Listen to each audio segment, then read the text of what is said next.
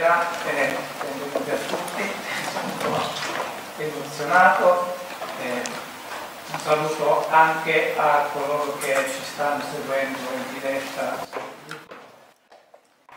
Non si sente?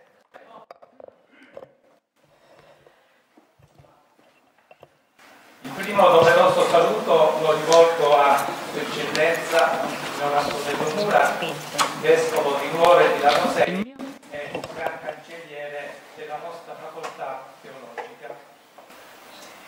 Saluto e ringrazio i relatori che questo pomeriggio ci aiuteranno ad approfondire la conoscenza di questa donna sarda, dotata di uno straordinario e connaturato senso dell'arte e del sacro la dottoressa Simona Campus dell'Università degli Studi di Cagliari, la dottoressa Elena Dirato dell'Università Cattolica di Milano Brescia, la dottoressa Elena Pontigia,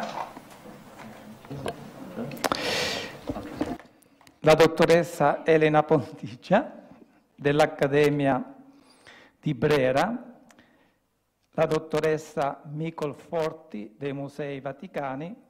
E la signora Maria Sofia Pisu, presidente dell'Archivio Maria Lai, alla quale è riservato l'intervento finale e che ringrazio per aver permesso la realizzazione della mostra, qui piano di sopra, visitabile sino al 15 dicembre, il giovedì e il venerdì, dalle ore 15.30 alle 18. La mostra è stata allestita grazie alla supervisione dell'artista Beppe Vargio, che pure ringrazio. E ringrazio e saluto il dottor Giuseppe Lezzi, moderatore del seminario. Apprezzo profondamente che la nostra facoltà sia sede di questo seminario di studi. Una delle prerogative di fondo della nostra istituzione è proprio l'attenzione al territorio in questo caso l'attenzione rivolta ad una delle eccellenze isolane dal punto di vista artistico, l'urassese Maria Lai, della cui produzione artistica questo seminario focalizza in maniera privilegiata due settori strettamente attinenti al messaggio cristiano, i presepi e le vie crucis.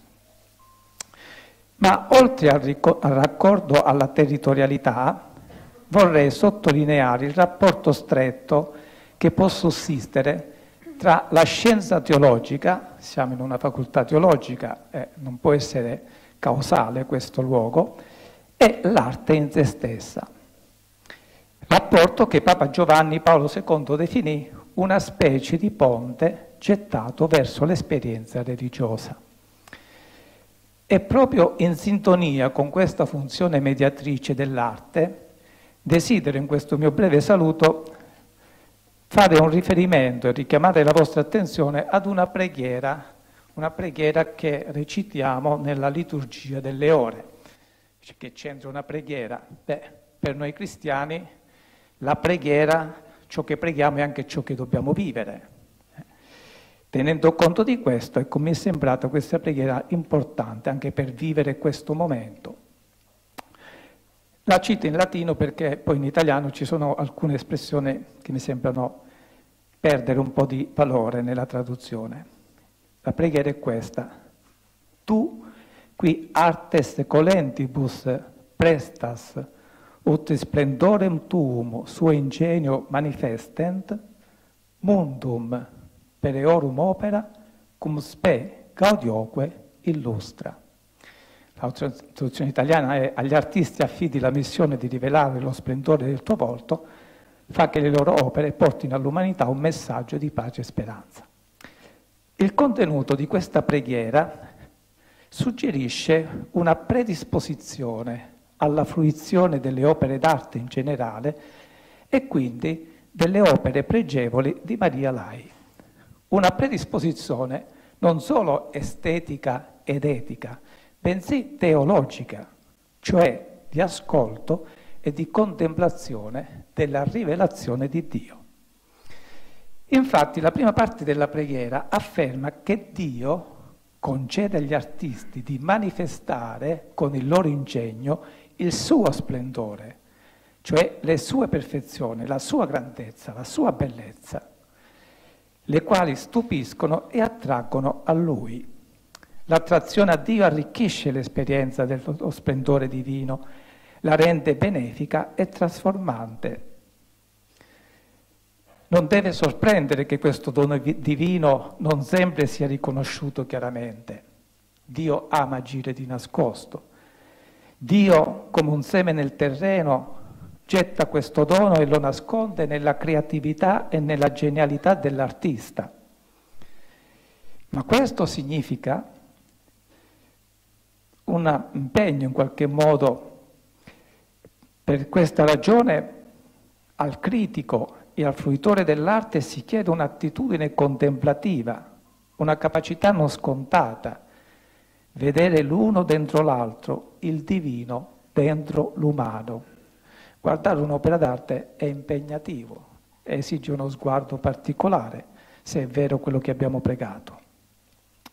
Nella seconda parte, conseguentemente alle affermazioni della prima, si chiede a Dio di far sì che le opere d'arte illuminino il mondo con la speranza e la gioia, che allietino e rincuorino l'umanità.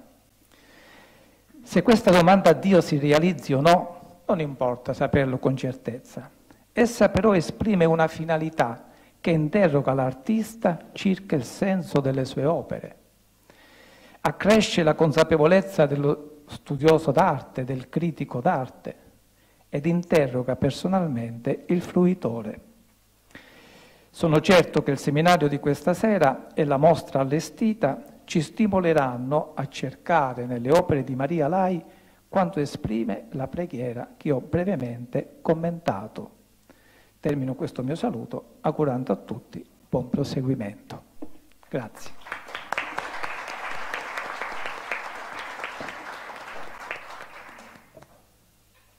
Buonasera a tutti, mi chiamo Giuseppe Lezzi e ho una galleria a Milano in cui vi è in questo momento una mostra di Maria Lai, una mostra fatta in collaborazione con l'archivio una mostra che si divide in due parti. La prima parte è legata al ricordo della favola di Maria Pietra, con uh, le varie opere rappresentanti Maria Pietra. Al secondo piano abbiamo invece un tributo ai 40 anni del, del legarsi alla montagna, con delle foto inedite ritoccate da Maria Lai e le foto fatte da Berello Gardin. Ho conosciuto l'opera di Maria Lai nel 2016 e quest'opera diciamo che eh, mi ha ha cambiato completamente la mia vita. Ho conosciuto Maria Sofia, Eva, Paolo, ho conosciuto delle persone meravigliose e degne eredi di un'artista meravigliosa, di un artista che ha fatto la spiritualità la sua forza. Mi hanno chiamato qui questa sera a moderare questo dibattito, questo convegno. E quindi sono a presentarvi il primo degli ospiti che ho il piacere di annunciare che interverrà questa sera. È Monsignor Antonio Mura, detto Antonello.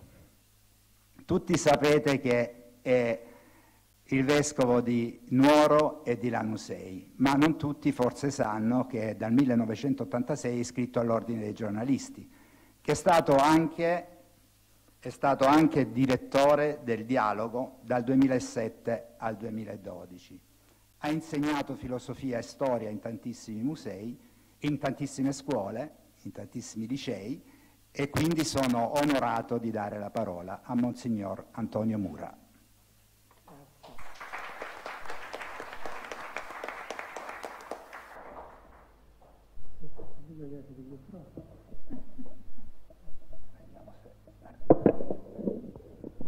Grazie. Grazie, questa presentazione mi, ha, mi raggiunge e mi ha riportato a tante cose del passato, ma voglio essere soprattutto oggi davvero e con molta gioia partecipe di questo momento che la nostra facoltà vive, come ha detto mh, Padre Francesco.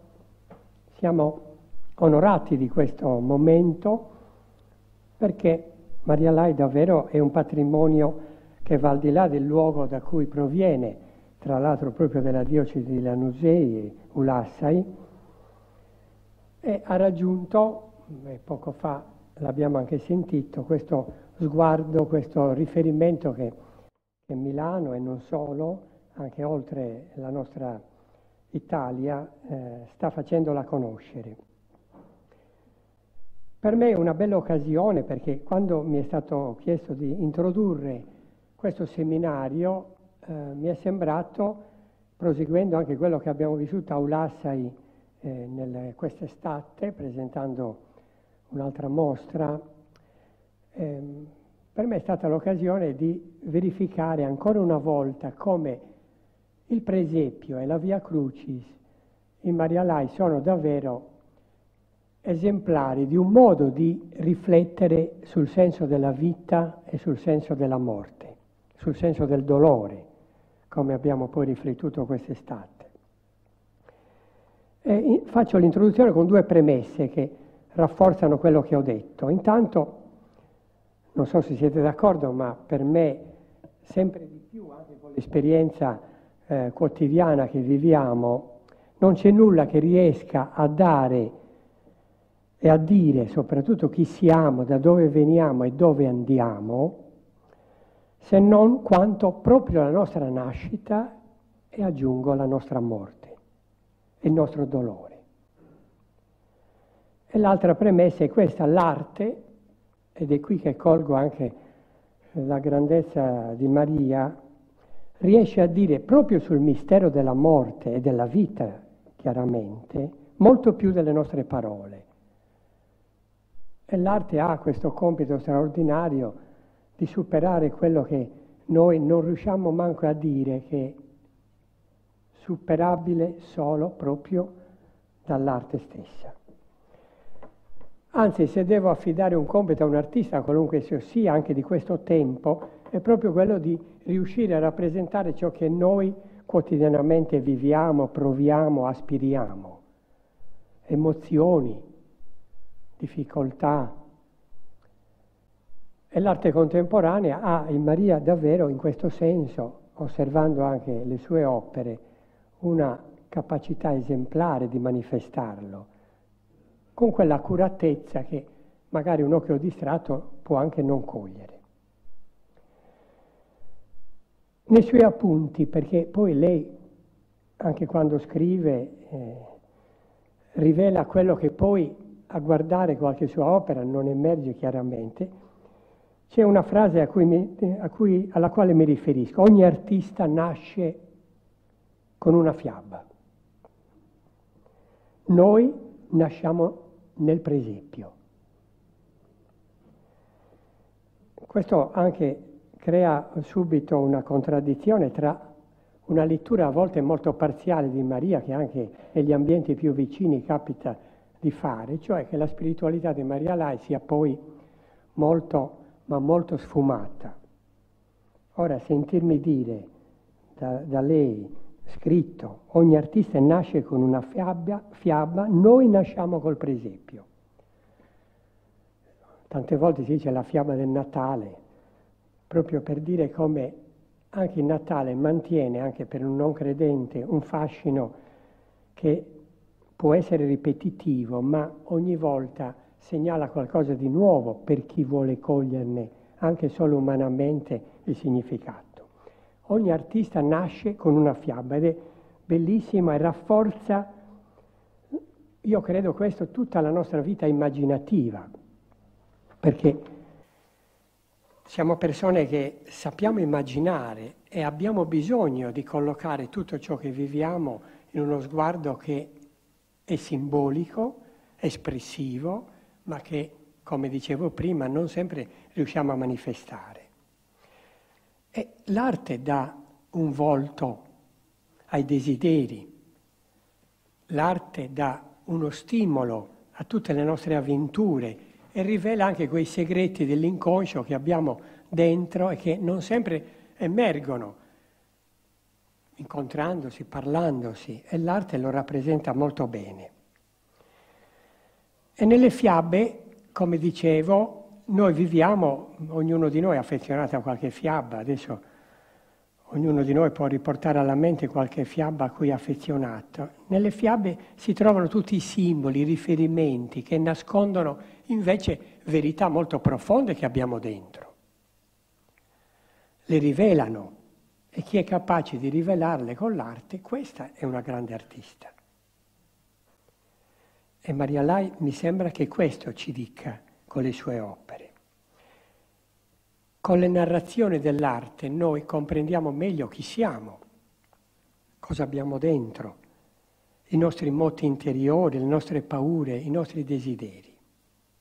Certo, mi è capitato spesso di dirlo e lo ripeto volentieri.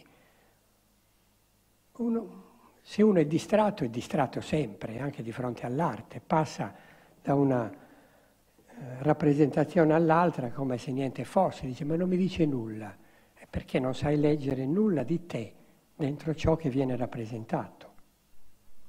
E questa è la capacità anche di leggere quell'arte contemporanea, non sempre facilissima, che noi ci troviamo davanti. E sono, diciamo, artiste come Maria che invitano come a un percorso di ricerca, contemplando, contemplando dentro quindi un'opera e la sua manifestazione anche il mistero della vita, il mistero della vita e aggiungo anche della morte. Il presepio è come una fiaba. Non ho difficoltà a dirlo neanche come credente, perché in qualche maniera mi coglie impreparato a un evento così grande che se dovessi usare la razionalità non comprenderei, non posso comprendere. Come scrive ancora Maria, si tratta di entrare e di essere il gioco con cui Dio tenta delle nuove creazioni di sé. E Dio è, visto come un personaggio in cerca di autori, che siamo noi, ma autori, mica solo destinatari. E se uno non trova posto in un, in un presepio, e può scegliere molti personaggi, è difficile che capisca perché lì c'è un bambino con il suo fascino e con il suo mistero. E l'artista, e Maria, da questo punto di vista, rafforza questa tesi, è come un divulgatore del mistero. E contemporaneamente, però, dello stesso mistero ne è protagonista, perché c'è tutto dentro, con tutto quello che è con tutto quello che ha imparato ad essere e che rilegge in quel momento. In questo senso il divulgatore, l'artista, è anche un divulgatore di emozioni, di quelle che noi proviamo e a volte non sveliamo, perché le nascondiamo e facciamo male. È anche il divulgatore delle nostre miserie umane, parole di Maria. E quest'ultime, le miserie, ci appartengono così tanto che sono irrinunciabili, anche quando tentiamo di nasconderle, anche quando tentiamo quasi di dimostrare che non appartengono alla nostra identità. Presepio, I presepi di Maria li leggo in questa maniera, capaci di, di far vibrare tutte le emozioni, ma anche le mie miserie, se mi fermo a contemplarlo. Anzi, e qui alcune altre parole di Maria eh, mi aiutano, le miserie sono come un vuoto che io ho, che ha bisogno di essere riempito, che ha bisogno di essere capito, di essere personalizzato. Dio, quando nasce, è una lettura forse, come diceva padre Francesco, più teologica, non so, ma sicuramente più umana. Dio vuole riempire questi voti personalizzando la sua presenza in me. Ed è come se mi accalappi e mi metta dentro quello che lui stesso sta manifestando, come avviene nel presepio. Scrive Maria, l'uomo visto come un nulla personificato. Esiste nel vuoto, ma non può vivere senza Dio presente e assente nel cosmo. La sola ragione non lo rende comprensibile. Dio in noi. All'opposto, a parte queste emozioni e quindi questo vivere, anche quindi la Via Crucis, oltre al presepio, manifesta come una capacità, perché chi ha visto i presepi di Maria sa che è pieno di tracce, di segni, di trame, che sono poi l'identificativo di un cammino, di una ricerca, di una persona, perché le trame, ognuno di noi ha una trama di vita in cui riconoscersi. E Maria osa dirci, ma mi pare nel caso della Via Crucis molto reale, anche il segno, il tratto, la trama nasce con la propria morte addosso. Però porta con sé nello stesso momento anche l'apertura potenziale a nuove possibilità. E per me questa è un'apertura dalla morte alla vita continua, che non è solo alla fine della vita, ma è ogni giorno. Vivere da risorti nonostante le morti quotidiane che ci accompagnano. Ancora una sua affermazione, il nulla, questo vuoto, non è una realtà ma un modo, un modo di essere. Un modo che però richiede una nascita nuova del possibile, del segno, della parola, dell'arte. E da qui ritorna al presepio il perché anche in ogni presepio che noi vediamo c'è sempre una cometta, che non manca neanche nel presepio di Maria, perché la cometta è come aprire un percorso e avviare a una ricerca. Parole ancora di Maria, la cometta è testimone di un altrove. L'ispirazione, sacra o profana che sia, arriva sempre da un altrove. L'uomo è sempre in attesa di un altrove e intanto lo inventa e lo costruisce con l'arte. Ecco, mi trovo molto, e sarò molto felice di ascoltare, li ringrazio tutti i presenti, mi ritrovo molto in queste parole, ma sono convinto che rafforzerò queste, questi pensieri anche grazie ai vostri contributi. Grazie.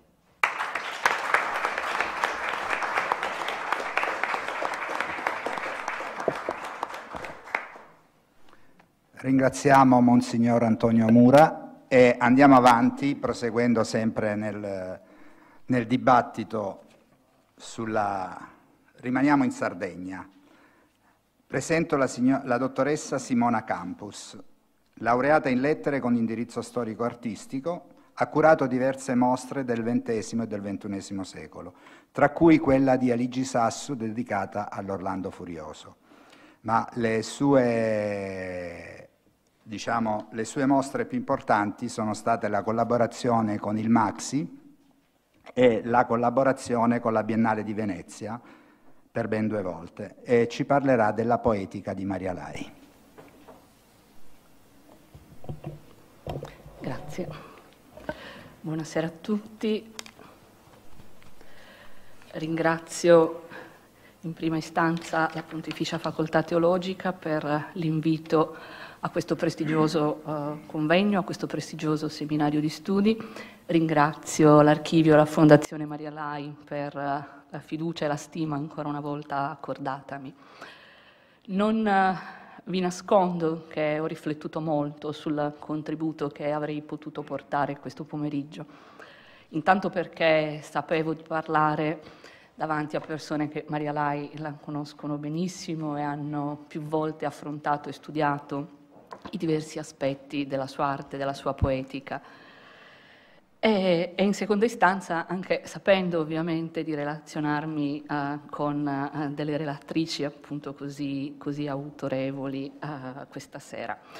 Ecco, quindi ho pensato di proporre non un intervento chiuso, strutturato, uscendo un po' insomma, dalla dimensione didattica che che un po' mi appartiene, eh, e invece di, di proporvi degli spunti, delle riflessioni, dei pensieri che abbracciano un po', come mi è stato chiesto, non lo specifico dei presepi, non lo specifico delle opere di soggetto sacro, ma più in generale tutta la poetica dell'artista. E allora per introdurre, per condividere con voi questi pensieri e queste riflessioni ho scelto un verso, un verso poetico, un uh, verso che è il primo verso di una poesia pubblicata da William Butler Yeats nel 1932. È tradotta in italiano da Eugenio Montale, inserita nei suoi quaderni di traduzioni eh, negli anni 70. Il verso recita parlare dopo un lungo silenzio è cosa giusta. Ecco, l'ho scelto perché credo sia particolarmente interessante riflettere su due elementi fondamentali nella, nella poetica di Maria Lai, il silenzio e la parola. Il silenzio ne è stato ampiamente detto, ne parla con grande suggestione anche Elena Puntigia nella uh, monografia che di recente ha dedicato all'artista, è qualcosa di connaturato, di imprescindibile al pensiero di Maria Lai. È, è qualcosa che si lega al suo essere atavico, ancestrale, connaturato appunto alla montagna e alla Sardegna. Sappiamo però anche che il silenzio assume altri significati e altre accezioni in Maria Lai. È anche un silenzio, almeno per alcuni anni, di comunicazione, è un silenzio espositivo, almeno nel periodo che va dal 1963 al 1968-69. Sappiamo infatti che dopo il complesso periodo della formazione, prima a Roma con Mazzacurati e a Venezia con Arturo Martini, periodo complesso perché intanto coincide con la tragedia della seconda guerra mondiale, complesso anche perché la vede sfidare, la vede affrontare da giovane donna isolana un sistema che decisamente alle donne ancora lasciava poco spazio. Ecco, dopo quel periodo complesso Maria Lai affronta dapprima il rientro in Sardegna per scegliere poi però di tornare nel 1956 a Roma, nella capitale, e lì fermarsi. Intanto ha intrapreso un significativo percorso espositivo, partecipa a numerose mostre collettive e personali nell'isola, fuori dall'isola. È stata a Venezia, alla Galleria dell'Opera Bevilacqua La Masa, nel 1953 la sua prima partecipazione alla quadriennale, ma anche la sua prima personale a Cagliari, agli Amici del Libro, fino al 1957, la sua prima mostra personale romana alla Galleria L'Obelisco, che insomma sappiamo non ebbe un successo stratosferico, rimase aperta soltanto uh, quattro giorni, ma certamente fu una pietra miliare nel appunto, percorso di accreditamento anche nell'ambiente romano per l'artista. E poi successivamente nel 58, nel 59, fino al 1963, che invece segna appunto l'inizio di un momento di eh, silenzio. Un silenzio che certo si spiega, doveva essere complice il fatto che appunto si faceva difficoltà ad affermarsi, ma senza dubbio, fuori di ogni dubbio, anche un silenzio che si deve alla necessità di ricorrere ad una pausa creativa che sia parte integrante di una elaborazione, di una nuova elaborazione di pensiero. Ecco, quindi un pensiero un, un, un silenzio che è atavico, che è connaturato, ma che è anche estremamente, inopugnabilmente contemporaneo imprescindibile per la creazione artistica. Insomma, per intenderci, non è più il silenzio, la fasia, l'ineffabilità di cui parlava Adorno alla fine della Seconda Guerra Mondiale, è piuttosto la ricerca di nuovi orizzonti.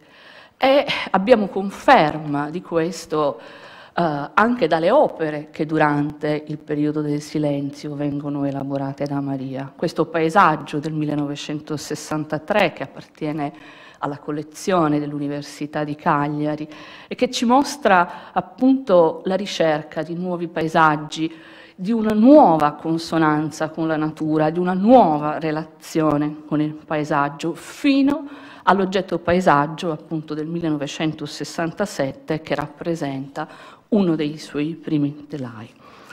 Ecco, la necessità quindi di ritrovare una connessione nuova con il sentimento della natura, ma anche della storia, della storia dell'arte, è, è quello che ci racconta l'oggetto paesaggio del 1967. Io non parlerò dei telai, non mi soffermerò sulle opere più note dell'artista, però mi pare che si possa senza dubbio affermare il fatto che si rende esplicito in un'opera come questa, nell'oggetto paesaggio, il fatto che oltre a tutte le straordinarie prerogative che la critica ha già messo in luce sui telai, come essi rappresentino eh, quest'opera nello specifico, sulla quale peraltro l'artista torna costantemente per una costante rielaborazione, rappresentino uno interrogarsi sulle potenzialità dell'arte in un periodo che non solo per l'artista, ma più in generale per gli ambienti culturali italiani è un periodo di, eh, di grande cambiamento, è un periodo in in cui appunto ci si sta lasciando definitivamente alle spalle, ci si è lasciati definitivamente alle spalle i traumi bellici, il realismo, il neorealismo, anche l'informale, sono macchine inutili in una contingenza segnata da, per l'Italia in particolar modo in quel momento da un boom economico e eh, industriale senza precedenti. Quindi macchine inutili in uno scenario che sta cambiando e che ovviamente eh, porta con sé nuovi disorientamenti sociali e culturali. Ecco che allora, insomma, quello che sto cercando di dire è che questo silenzio si configura come una crisi poetica, che poi significa fondamentalmente transizione, significa opportunità di nuova elaborazione. E si potrebbe in questo senso ancora citare Montale, che anche lui ebbe un silenzio poetico dopo aver pubblicato Ossi di Seppia e Le Occasioni. Proprio dalla fine degli anni 50 anche, anche il poeta sceglie una strada nuova. E sintomaticamente la sua prima pubblicazione dopo il silenzio poetico è del 1971 con l'uscita della raccolta Satura, lo stesso anno della prima personale di Maria Lai dopo il suo silenzio creativo. E la più vera ragione è di chi tace, aveva scritto eh, proprio Montale, già in una lirica in realtà contenuta in Ossi di Seppia. Ecco, Maria Lai, che dal canto suo ha sempre ricercato la chiarezza, anche per quella straordinaria propensione narrativa che le apparteneva, partecipa in un certo senso all'ermetismo, nella misura in cui ricerca l'essenzialità assoluta, il ritmo delle cose dette e di quelle non dette, perché il silenzio corrisponde alla necessità di considerare il vuoto. The rest is silence, il resto è silenzio, è l'ultima battuta di Amleto prima di morire. È un, un tema che ricorre costantemente nell'elaborazione del pensiero poetico. Ecco, allora il silenzio corrisponde alla necessità proprio di considerare e di riconsiderare il vuoto, di tendere all'infinito, di abbracciare l'infinito nel finito, di cercare l'infinito che sta nella natura e nell'umanità soprattutto. È un silenzio che presuppone un interrogarsi continuo anche sulle scelte di campo da effettuarsi. Basti tornare un attimo sulle opere del periodo precedente. Questa è la locandina della, uh, della già citata mostra alla Galleria dell'Obelisco del 1957, dove appunto ancora prima degli esiti di cui abbiamo appena parlato, vediamo come eh, Maria stia indagando non soltanto il patrimonio atavico della Sardegna, non soltanto stia confrontandosi con quanto il suo patrimonio culturale, ovviamente alla luce degli insegnamenti appresi a Roma e a Venezia, eh, le possano proporre, ma sta riflettendo anche sulle immagini più contemporanee dell'arte in Sardegna. Questa mattanza di Foiso Fois segue eh, su, sotto il profilo grafico il noto dipinto eh, oggi conservato ai musei civici di Cagliari. Non a caso Venturoli parla rispetto alle opere di Maria Lai di questo periodo di un importante segno grafico. La riflessione su quell'attitudine grafica che è propria dell'opera eh, artistica in Sardegna, almeno per tutta la prima metà del secolo, ma anche nel caso di Foiso Fois e di altri artisti, almeno a cavallo tra la prima e la seconda metà, diventa appunto punto di riferimento che però viene poi immediatamente superato nella maniera in cui abbiamo appena visto. Cosa intendo dire? Intendo dire che sull'esempio di Foiso Fois in Sardegna a partire dagli anni 60 si sviluppa un rinnovamento artistico di grande importanza, nascono i gruppi dell'impegno militante fortemente politicizzati.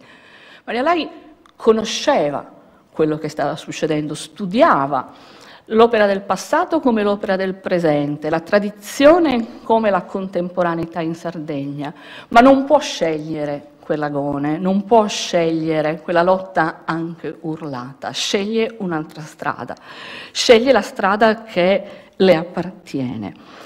E, e allora il silenzio significa fondamentalmente scegliere e significa scegliere cosa dire. E qua giungiamo alla seconda uh, parte, alla seconda, um, al secondo elemento portante di, quella, uh, di, quel verso iniziale, la parola, perché insomma è, è appunto il caso di dire eh, il silenzio non è antitetico alla parola, il silenzio è assolutamente complementare alla parola. Il silenzio presuppone la scelta di cosa dire, fare una scelta di campo.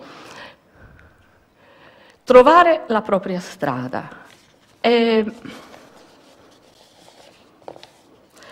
significa parlare, appunto, ma soltanto quando si deve dire qualcosa che valga più del silenzio.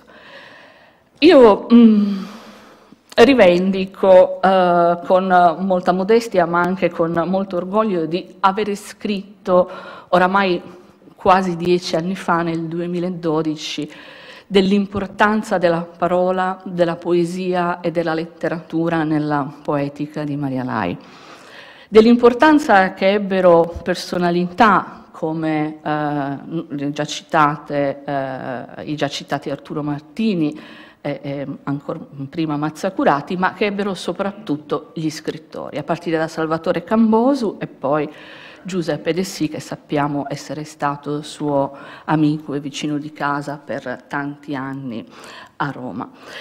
Ecco, Salvatore Cambosu, Maria Lai lo conosce nel 1932, quindi quando è ancora davvero una bambina. Nel 1932 Cambosu aveva dato alle stampe a Bologna lo Zufolo, il suo capolavoro invece Miele Amaro è del 1954 eh, esce a Firenze per i tipi di Vallecchi e immediatamente appare, cito perché è una definizione che amo moltissimo, appare come un bastimento carico di spezie e di fiabe, d'essenze e di storia, di immagini preziose e di racconti, di miele e di poesia. Questo è il modo in cui Miele Amaro viene descritto in una recensione del 1955 uscita sull'Unione Sarda. Molti dei racconti contenuti in Miele Amaro sarebbero stati dettati da Cambosu a Maria. Ed è attraverso Miele Amaro e attraverso Cambosu che Maria incontra, che Maria Lai incontra Maria Pietra, la protagonista del racconto Cuore mio. Una donna, ci dice Cambosu, in potere di certe parole ora perdute, che avevano il potere di legare, affascinare, privare della libertà tutte le creature e che era proibito adoperare pena un terribile castigo. Il castigo, lo sappiamo, era la morte del figlioletto, eh, alla quale Maria Pietra pone rimedio facendo cosa? Impastando dei bambini di pane, impastando delle piccole sculturine di pane e accettando di diventare pietra. Ecco, nel 2012 scrivevo il, l'importanza di Maria Pietra consiste non tanto e non soltanto nell'essere motivo ispiratore di molteplici e differenti opere, sappiamo che esistono elaborazioni in differenti tecniche, con differenti linguaggi, nell'arco di tutta la vita artistica di Maria Lai. Ma l'importanza di Maria Pietra consiste soprattutto nell'essere personificazione della metafora, dell'arte, della riflessione sull'arte, del pensiero dell'arte. È il suo essere paradigma di una poetica. E le tracce di questo procedere metaforico, paradigmatico, sono perfettamente riconoscibili nel libro Intervista alla Pietro e alla Paura, curato da Federica Ricastro nel, nel 2006, in cui Maria Lai non soltanto commenta alla figura di Maria Pietra, ma riscrive la storia di Cambosu recandola completamente a sé, facendo in modo che diventi completa espressione della sua poetica.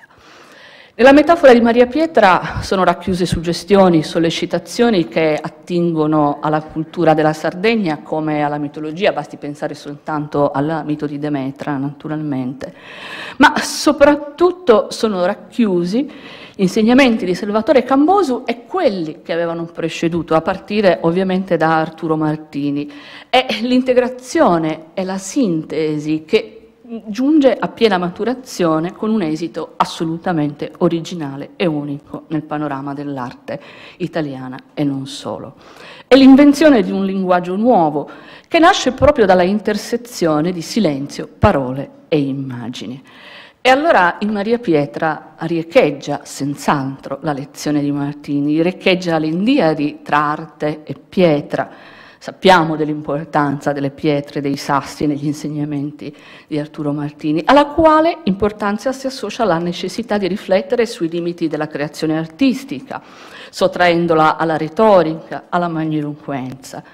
Ecco, allora Martini eh, diceva che senso avrà ancora se al mondo ci sono le... che senso avrà ancora fare scultura, no? nella sua scultura lingua morta, roba per cimiteri, se al mondo ci sono le pietre. Le pietre hanno la forma più bella e più rasserenante, contengono storie immemorabili, sono cariche di sortileggi. E poi la frase citata più di tutte, le pietre sono le vere immagini del mondo, lo scultore dovrebbe farle respirare come pane che lievita. Ecco, Maria Pietra porta in vita, riporta in vita il suo bambino facendo sculturine di pane, Maria Lai, come Maria Pietra, si fa artigiana del pane. Nascono le sculture di pane. E come il filo, come i telai, come i libri, come le telecucite, come le geografie, Maria Lai prende uh, quelle che sono le tecniche tradizionali mh, tradizionalmente appannaggio delle donne, le sottopone ad un processo di straniamento, di risemantizzazione, ha scritto molto bene Rita Pamela Ladogana in un suo recente saggio, e le ascrive ad una dimensione completamente contemporanea. Il pane diventa, in Maria Lai, linguaggio esso stesso. Il pane diventa uno dei, degli strumenti più suggestivi attraverso i quali si esprime l'arte di Maria Lai. Eh, ho letto molto in questi giorni sulla simbologia, sull'importanza dei significati che il pane assume, sia rispetto al pensiero laico, sia ovviamente rispetto al pensiero religioso. Il pane è presente è presente nell'Antico come nel Nuovo Testamento. Eh, il pane degli ebrei eh, viene eh, richiamato nei riti del cristianesimo per giungere all'Eucaristia, il dono della grazia fondato sul pane, perché il pane, esattamente come il filo, come la tessitura, come il cucito, ha una dimensione simbolica, di grandissima portata, di grandissimo valore, ma anche una dimensione gestuale, corporea. Allora nella fede cristiana il rito dell'Eucaristia ha elevato questo rapporto fino alla santità. Io sono il pane della vita, chi viene a me non resterà certamente affamato. Io sono il pane vivente. Passi del Vangelo che riecheggiano nelle, eh, nelle affermazioni di Maria Lai. Il pane è un simbolo di vita, è qualcosa che comunica la vita, dice Maria. Per aggiungere però, subito dopo, vita e morte c'è nel pane. quindi entrambi gli aspetti, entrambi i misteri. Il pane è morte e risurrezione. Nel pane Maria Lai, come Maria Pietra, scolpisce sculture soprattutto di bambini, richiamando la sacralità del pane, richiamando i simboli della passione, richiamando la vita e richiamando la morte, come nei suoi famosi cimiteri di bambini.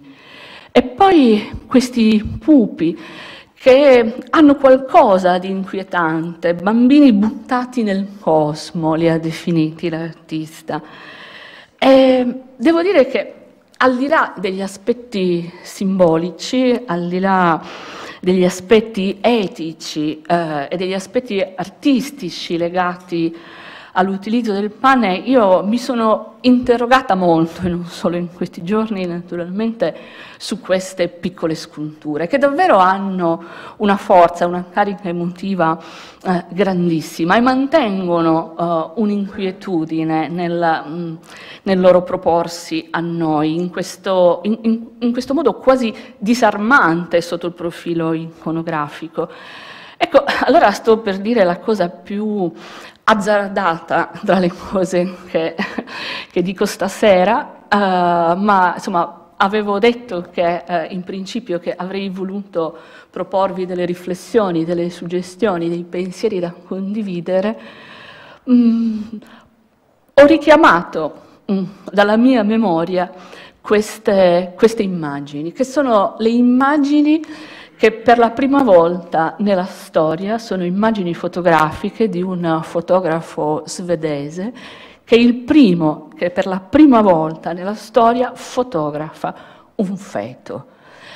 E, ehm, pubblica per la prima volta la fotografia su Life nel 1965, ne segue un libro, A Child is Born, che a partire dalla metà degli anni 60 e poi per tutti i decenni successivi ha un successo editoriale sconvolgente, viene tradotto in tutte le lingue del mondo e tirato in esemplari innumerevoli.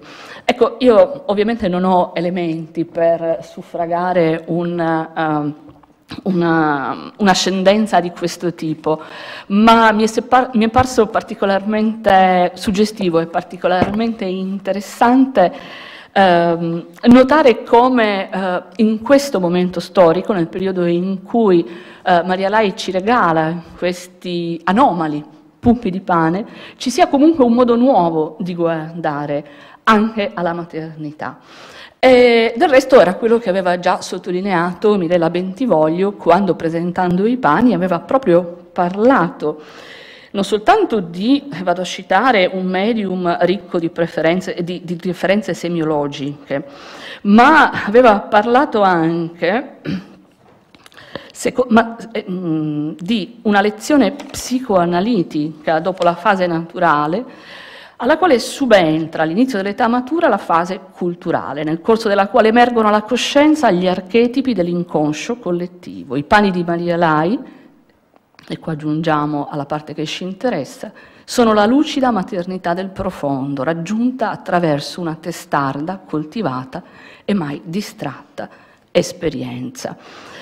E, ehm, non a caso Mirella Bentivoglio avrebbe poi invitato Maria Lai ad una successiva mostra, successiva rispetto a quella del pane, l'importante, importantissima mostra collettiva, la materializzazione del linguaggio, dove nella parola materializzazione ovviamente è compresa anche la parola mater.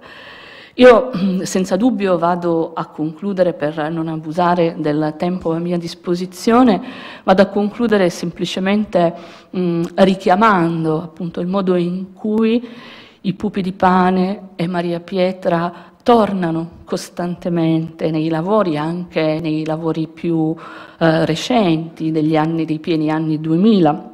Questa è la pietra della felicità del 2002 questo è Cuore mio dello stesso anno accanto all'ansia di finito. E ovviamente eh, eh, richiamando il fatto che eh, tutte le cose che abbiamo detto finora eh, trovano una giusta conseguenza eh, in opere come eh, la grande tavola apparecchiata con i pani di ceramica o i libri di pane. E Chiudo dicendo che ovviamente oltre a tutte le dimensioni che, a cui abbiamo provato a fare cenno rispetto al pane, rimane da richiamare quella più importante, che è la dimensione relazionale. Eh, silenzio e parola confluiscono nella relazione, che poi è il fine ultimo dell'opera di Maria Lai, di tutta la sua poetica. E a questo proposito eh, richiamo soltanto alcune citazioni, anche queste insomma, molto richiamate, che però andrebbero lette forse non soltanto in accezione, eh, in, in, in accezione come posso dire, antropologica, ma proprio con la consapevolezza che Maria aveva del proprio essere completamente contemporanea. Ho dietro di me millenni di silenzi, di tentativi di poesia e di pani delle feste e di fili di telaio, ma soprattutto l'opera d'arte è prodotta in solitudine, ma è sedimento di culture accumulate in millenni di esperienze collettive. La tradizione ha valore nel momento in cui è condivisione, in cui è esperienza collettiva. E per questo, alla fine di tutto, il pane annodato lega e collega in legarsi alla montagna. Grazie.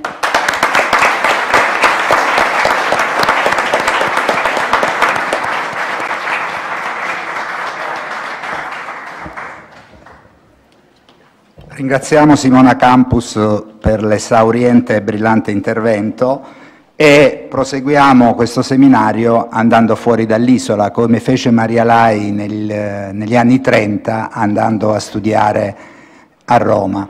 Noi invece andiamo in Lombardia e vi presento, e sta per prendere la parola, Elena Di Raddo.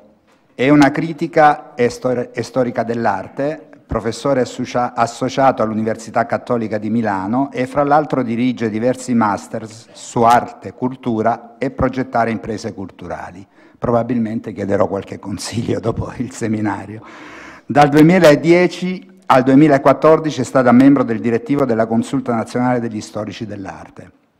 Si è occupata anche del rapporto arte e architettura, scrive di arte su diversi organi di stampa. Lei ci addentrerà e ci parlerà dei presepi di Maria Lai.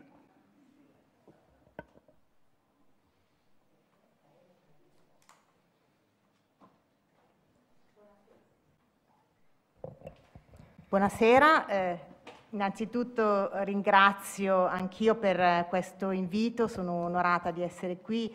Eh, la eh, facoltà eh, pontificia, ehm, facoltà teologica e, e l'archivio Maria Lai per l'aiuto e supporto nella preparazione di questo mio studio. Eh, innanzitutto l'importanza dei presepi di Maria Lai è testimoniata dal bellissimo volume Fuori era la notte, eh, i presepi, curato dalla stessa artista insieme a Gianni Murtas e a Pietro Clemente nel 2004 e eh, che è veramente un ripercorrere e mostrare il valore di questo, mh, mm, di questo soggetto nella sua arte, un soggetto che praticamente persegue per, eh, tutta la, durante tutta la sua attività. Eh, all'inizio di un saggio dedicato ai presepi, eh, pubblicato invece più di recente su arte cristiana, eh, eh, la, il critico eh, Giacomo Fuch insiste molto sulla derivazione teatrale del presepe e in particolare del presepe medievale. Commentando il presepe di Greccio e facendo riferimento alla lettura dello storico dell'arte tedesco Harry Todd, ne sottolinea la natura teatrale che ne fa eh, uno spettacolo festivo della stessa sostanza della sua rappresentazione, eh, scrive, seppure con la peculiarità di essere senza personaggi, una stalla con un vero bue e un vero asino e una mangiatoia riempita di fieno.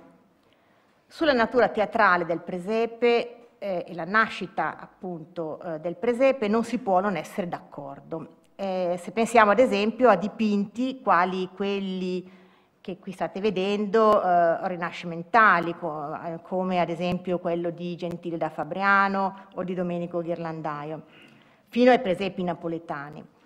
Ciò che caratterizza queste immagini è l'assembramento delle figure umane e, e animali, i paesaggi e soprattutto il loro convergere verso la presenza centrale della culla con Gesù bambino, di solito protetto da una stalla o da un edificio che ne in qualche modo eh, fornisce un senso di protezione. Molto diversi invece sono i presepi di Maria Lai. Lo vediamo anche in quello bellissimo che abbiamo qui al, nella sala. I suoi presepi sono caratterizzati dal vuoto, dall'assenza.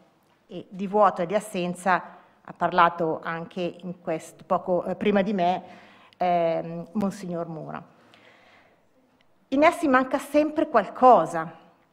Uno dei protagonisti della scena, Maria o Giuseppe, come qui, persino il bambino Gesù stesso, che spesso è decentrato rispetto al paesaggio, è quasi nascosto, o addirittura non c'è, come eh, in, questa, eh, in, questa, in questo presepe che vedete qui, che praticamente è dominato dalla presenza del gregge, o in quest'altro, un presepe senza persone, senza uomini, c'è soltanto al centro la culla con Gesù bambino vegliato eh, da questo gregge di pecore. È veramente sorprendente. Quindi rispetto all'iconografia tradizionale, questo è un altro esempio, in cui tutti i personaggi sono ammassati e descritti talvolta anche nei minimi dettagli folcloristici, Lai sceglie di mettere al centro della scena il vuoto, il silenzio, appunto, di cui ha parlato poco fa anche eh, chi mi ha preceduto, e quindi la contemplazione dell'assenza. Con quale scopo? Ce lo dice lei stessa, con lo scopo di dare forma attraverso l'arte allo stupore. Perché i suoi presepi non sono rappresentazioni, teatro, ma arte Scrive l'artista stessa, eh, ciò che resta dell'arte nel mondo non è la fisicità dell'opera, è il silenzio, il vuoto di uno stupore. Da quel silenzio ogni lettore dà voce a un se stesso che gli era sconosciuto e che risorge in quel momento. Mi sembra che questa frase aiuti molto alla lettura dell'opera di Lai, compresi i presepi. È a quel vuoto a quel silenzio che l'arte di là invita l'osservatore a guardare quando osserviamo i suoi presepi. E quel vuoto ci porta anche eh, ad andare oltre l'apparenza fisica, verso la dimensione dello sconosciuto e la dimensione interiore e spirituale del nostro essere, una dimensione che solo l'arte, attenzione, permette di raggiungere. In un altro scritto, sempre dedicato al significato del fare arte, eh, l'artista afferma Ogni oggetto d'arte rende tangibile ciò che sarebbe inafferrabile.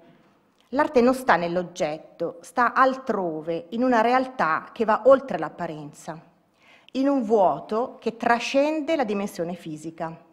Il vuoto è della stessa sostanza del vuoto universale, lo stesso che è presente in ogni essere umano, eh, dentro ogni uomo, dice ancora, c'è, che è corpo, c'è il vuoto di un mistero, un vuoto sconosciuto, che fa paura.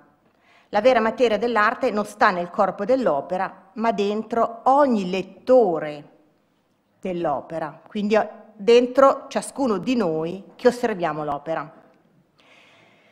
L'artista chiama quindi direttamente in causa chi osserva l'osservatore, che è invitato a riempire quei vuoti che trascendono appunto la dimensione fisica con la dimensione spirituale del proprio essere, una dimensione che fa paura perché è misteriosa.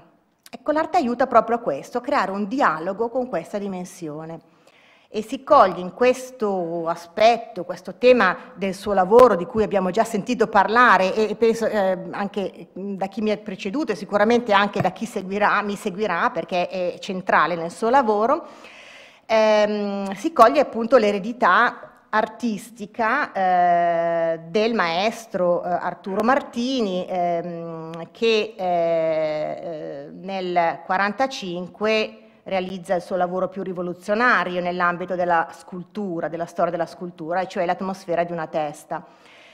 Eh, e eh, realizzata lo stesso anno, tra l'altro, del suo scritto programmatico La scultura lingua morta. Lei frequenta le lezioni di Arturo Martini all'Accademia di Venezia proprio tra il 1943 e il 1945 e quindi proprio negli anni in cui lo scultore si interrogava sul dramma della scultura. Eh, Martini aveva indagato proprio il tema del vuoto e Maria Lai, come ha lei stesso eh, confidato a Giuseppina Cuccu eh, in un'intervista, in un incontro del gennaio 1993, era consapevole di aver tratto da lui un'eredità importante. Scrive, oggi so che ci eravamo incontrati per comunicarci qualcosa che sarebbe andato oltre il tempo. Qui appunto lo scultore, abbandonate la forma delle terrecotte che inquadravano le scene entro strutture quasi metafisiche, mette al centro il vuoto, l'assenza, e apre, e apre la scultura, fino ad allora legata all'immagine figurativa e alla forma plastica, all'astrazione. Che cosa voleva dirci Martini con quell'opera? Eh, ribadiva un aspetto peculiare dell'arte contemporanea, dopo Cézanne. L'arte non descrive, non racconta, non rappresenta, ma interpreta la realtà, ne fornisce una lettura mediata attraverso le componenti proprie dell'arte, linea, composizione, colore. Già nel 1909 eh, addirittura il pittore inglese Roger Fry, eh, in un saggio di estetica, scriveva l'arte non è ricerca di bellezza o copia del mondo esterno, ma serve a esprimere l'emozione dell'artefice e a trasmetterla al riguardante mediante i suoi mezzi specifici e storicamente accertati, appunto linea, composizione, colore. Maria Lai indubbiamente si sente erede di questa intuizione e lei stessa spiega eh, che nei suoi lavori il vuoto è suggerito dalle linee oblique, e qui mostro un'opera che eh, come vedete è del 54, eh, poi rielaborata nel 1983. Eh, il vuoto è suggerito, dice, dalle linee oblique come traiettorie verso l'esterno, presenti sia nei disegni che nei telai, nelle geografie, nei libri cuciti, nei muri di cemento, persino nell'intervento sul territorio legarsi alla montagna. Anche eh, in alcuni presepi compaiono queste linee oblique negli sfondi in particolare, alludendo allo spazio e alle costellazioni. Guardate non solo questo, eh, questo, questo mh, presepe, ma anche quest'altro sulla destra che eh, è eh, il tetto infinito del 93 che è inserito da Maria Lai in quel volume che vi ho detto, eh, Fuori era la notte, che quindi Maria Lai considera una parte eh, dei suoi presepi, parte dei suoi presepi. E, ehm, se facciamo caso, e poi l'ho messo in relazione con una geografia dell'87 perché chiaramente in quella geografia cosmica eh, ritroviamo eh, proprio lo stesso elemento presente nel cielo, nel tetto infinito del presepe. Dicevo, mh, mm, pensando ai suoi presepi, guardando i suoi presepi, anche quello, non c'è mai o quasi mai una capanna, una grotta. I personaggi non sono protetti avanti, ma sempre in balia del vuoto e quindi dell'ignoto. Eh, ve ne faccio vedere un altro, anche qui ripreso, no, del 63, ripreso nel 2003. Eh, non ci sono strutture che conferiscono riparo, protezione alla Sacra Famiglia, ma al di sopra c'è il cielo, l'immensità delle stelle e delle costellazioni. E quindi appunto il tema dell'ignoto. C'è un altro aspetto ricorrente nei mh, presepi di Maria Lai, eh, l'ho accennato all'inizio e qui lo voglio però mh, spiegare, insomma, ehm, ripercorrere meglio. Questo aspetto che si integra al vuoto è quello dell'incompletezza. Non c'è mai un presepio completo, con tutte le figure tradizionali. Eh, il, anche qui vediamo che c'è solo un, forse un San Giuseppe, ma manca la Madonna, ad esempio, mancano i pastori, ci sono soltanto le pecore. Il bambino, la, cioè, quindi non c'è il presepe con tutte le figure, cioè il bambino, la Madonna, San Giuseppe, i pastori, l'angelo annunciante, gli animali, ma sempre una di queste figure. Anche qua eh, vediamo soltanto l'angelo annunciante. Eh, Gesù bambino è spesso appunto decentrato, come vi ho detto prima, oppure abbiamo soltanto i re magi. Eh, anche il processo stesso attraverso il quale Maria costruisce i suoi presepi non porta a pensare ad una stabilità, mh, mm, eh, ad una, a un qualcosa di, di, di, di eh, come dire, di preciso, di consueto, di, appunto di stabile, ma al contrario ha un'ulteriore precarietà. Eh, l'artista scompone e ricompone i presepi nel corso della sua vita. Guardate, anche qui tutte queste da, doppie date sono proprio la, la, pratica di Maria Lai, quindi costruire, immaginare un'opera nel 1956 e poi rivederlo, ripercorrerlo nel 2002. E lo fa innanzitutto per la sua famiglia, come mi ha spiegato la nipote stessa, Maria Sofia, che ringrazio per il prezioso, prezioso contributo che mi ha fornito per approfondire l'opera della zia, eh, riproponendo spesso figure e composizioni create in periodi precedenti. Lo fa, eh, ad esempio, quando recupera le figure di Utah nel 54 o quelle di terracotta, come qui del 56, per inserirle in nuove composizioni o incassarle in strutture di legno che conferiscono un'inquadratura alle forme scultoree.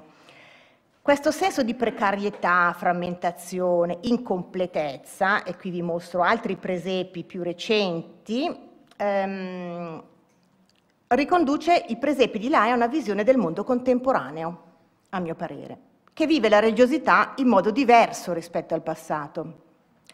Una religione che non può più essere quella che riempie tutta la vita, come prima della secolarizzazione. E quindi ognuno è chiamato a ricomporre, come fa lei, in modi diversi e personali, la presenza del sacro nella propria vita. Nel saggio scritto per il volume Fuori alla notte, Pietro Clemente commenta l'opera di Lai per il presepe come una radicale laicizzazione dell'orizzonte religioso e una sua incorporazione in quello artistico, in quanto le figure del presepio sono le figure del mistero e il mistero è il luogo dell'umano e dell'arte, diversamente dalla religione che è il luogo delle certezze e dell'ordine. Per Maria Lai il sacro è lo scrive lei, immanente nella vita di, di ognuno.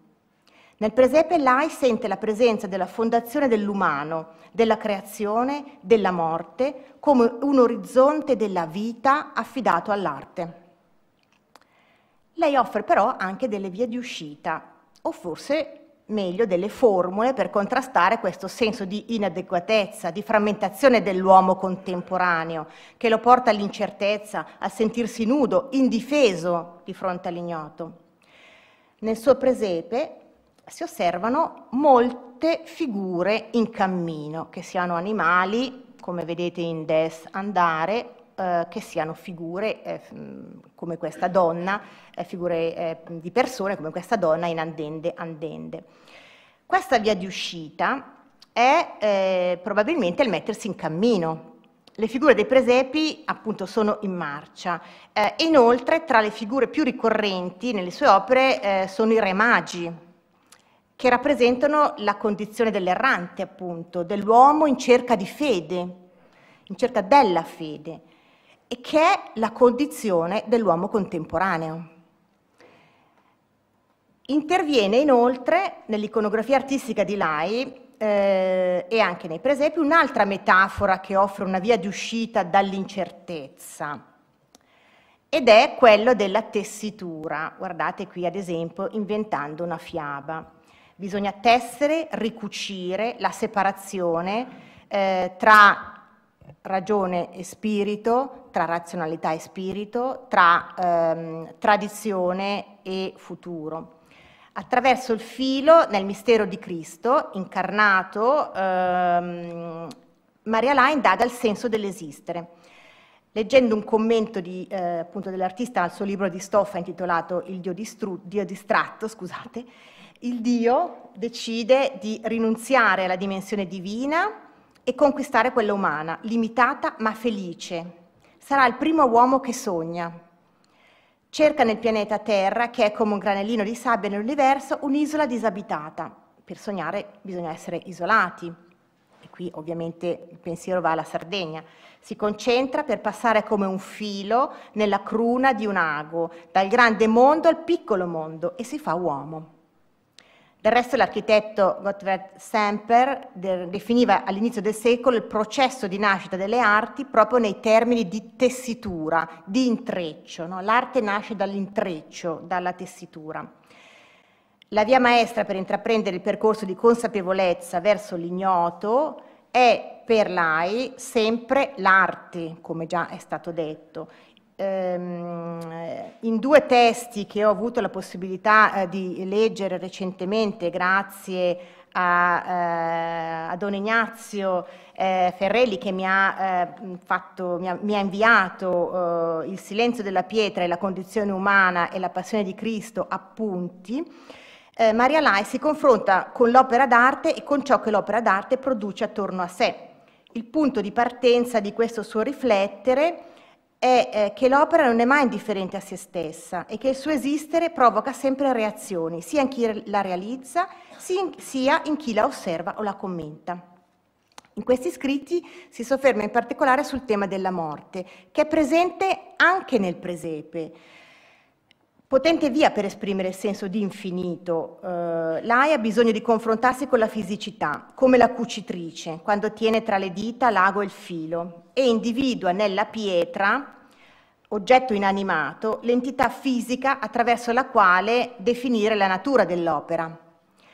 La pietra può essere umanizzata, eh, dice l'AI, e in questo modo superare l'idea della morte come finito per estenderla invece oltre il confine della vita fisica. L'arte ha la capacità di trasformare ciò che è apparentemente senza vita, immobile, statico, in qualcosa di vitale, energico e dinamico. E lo può fare portando quell'oggetto nel tempo della vita, passata, presente e futura. L'opera crea attorno a sé onde di energia, moltiplica le chiavi di lettura, ma non si tratta di semplici evocazioni di esperienze del singolo, avverte Lai, è una questione di affinità profonde e di radici lontane che affiorano nel momento della contemplazione e nella lettura dell'opera. Quando crea, l'artista getta un sasso con la sua opera e guardate questo presepe eh, in ceramica come ricorda proprio il tema del, del sasso, eh? poi ce ne sono molti altri, io ne ho, ho, messo questi, ma potete di nuovo guardare alla vostra sinistra per cogliere appunto questa, ehm, questa fisicità, questa, eh, questa plasticità, eh, questa quasi essere in, mm, come intagliato, scavato nella pietra e non a caso queste forme ricordano molto i tacchi di Ulassai, quindi le, le pietre che lei aveva certamente nel suo cuore, che aveva dentro di sé. E, mm, quando crea, eh, dicevo, l'artista getta un sasso con la sua opera e da quel gesto tutto è trasformato, perché si avvia il dialogo con l'altro, questo colloquio si riempie di significati che derivano dalle esperienze e dalla storia che ciascuno porta con sé.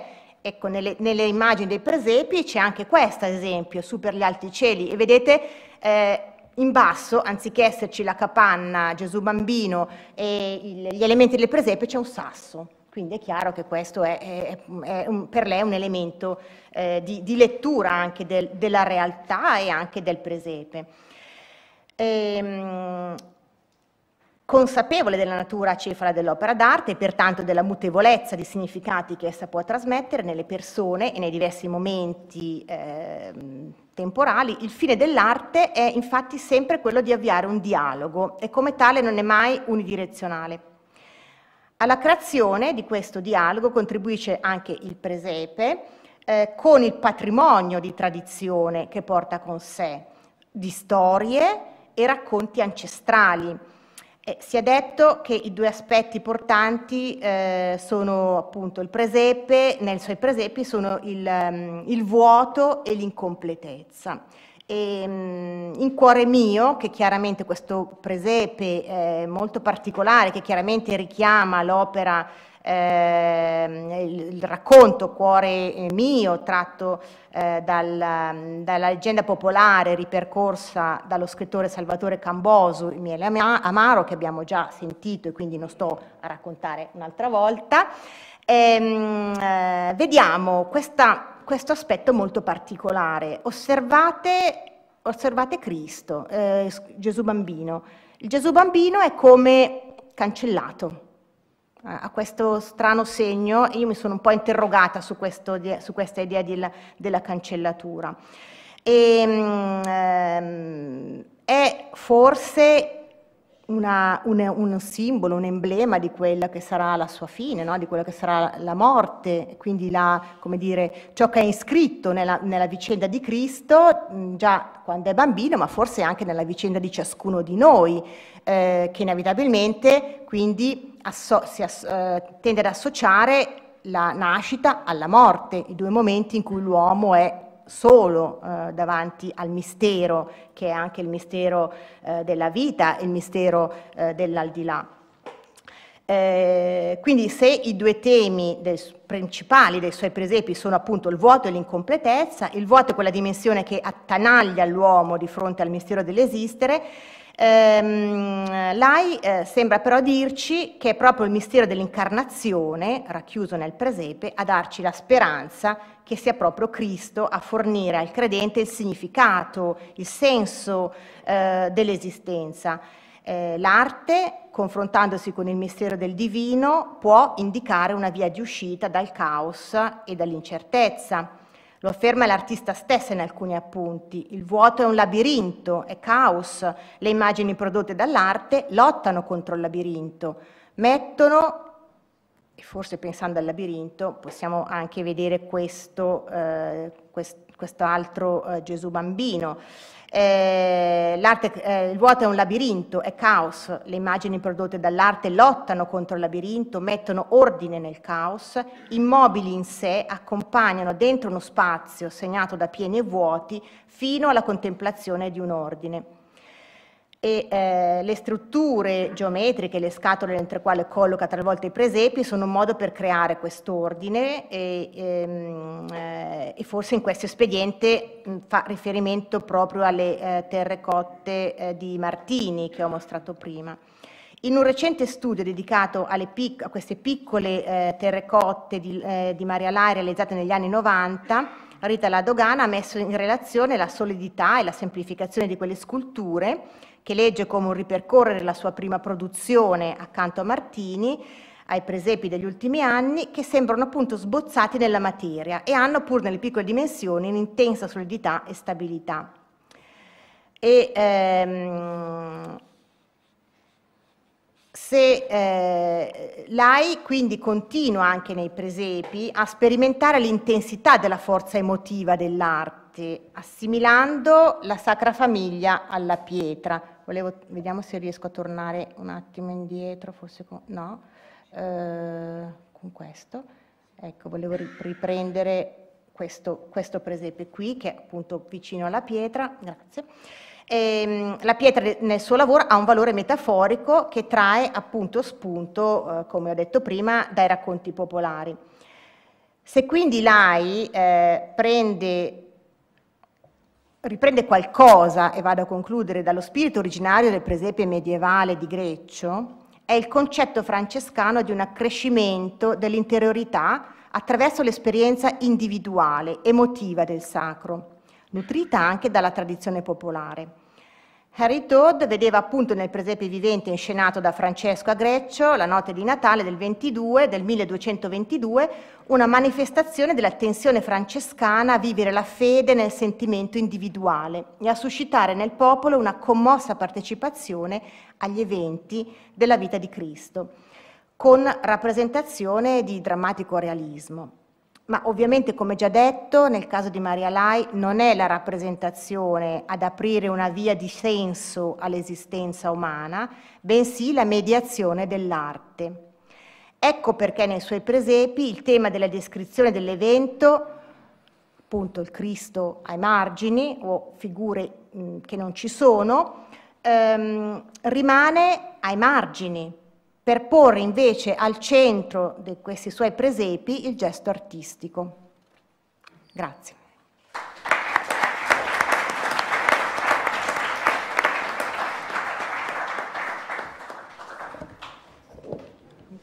Grazie alla dottoressa Elena Di Raddo.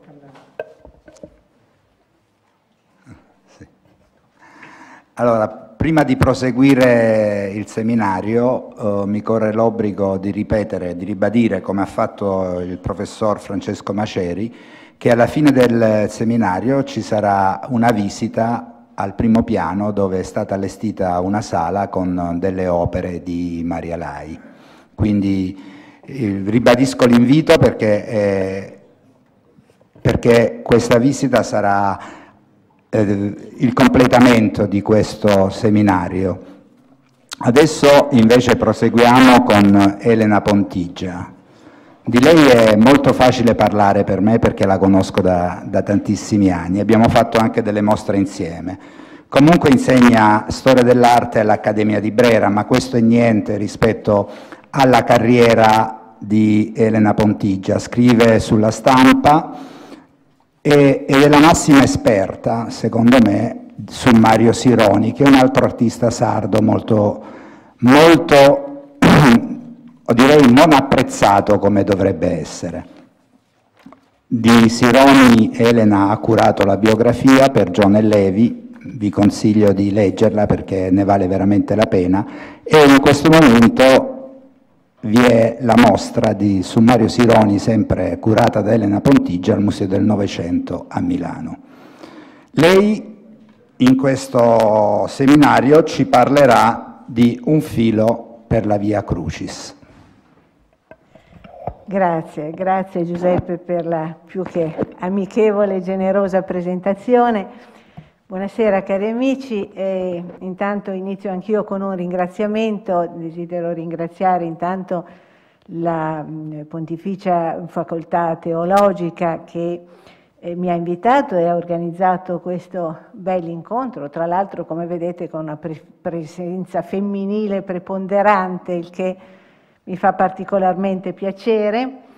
E ringrazio l'Archivio Maria Lai, in particolare Maria Sofia e Eva, sempre, sempre generose e prodighe di informazioni e di tutto il materiale necessario e un particolare ringraziamento va a Don Ignazio e a Don Roberto, parroco di Ulassai, della chiesa di Sant'Antioco di Ulassai, che anche loro mi sono stati vicini con aiuti materiali e tutto ciò di cui avevo bisogno.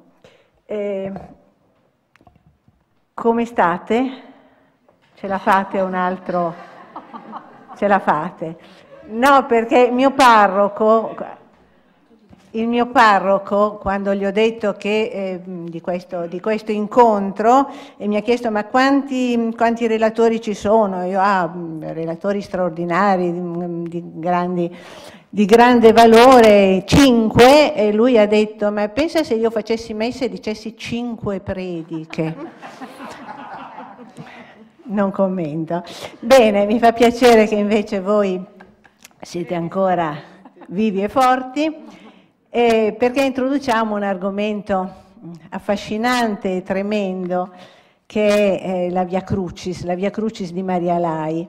Eh, qui eh, ne vediamo eh, due stazioni, due esempi, eh, perché nel 1981 Maria realizza una, non mi viene un aggettivo, non c'è un aggettivo, mi viene l'aggettivo straordinaria che è uno degli aggettivi più banali, eh, ma comunque una intensa, commovente, memorabile via crucis, appunto che poi donerà alla chiesa di Sant'Antioco del suo paese natale.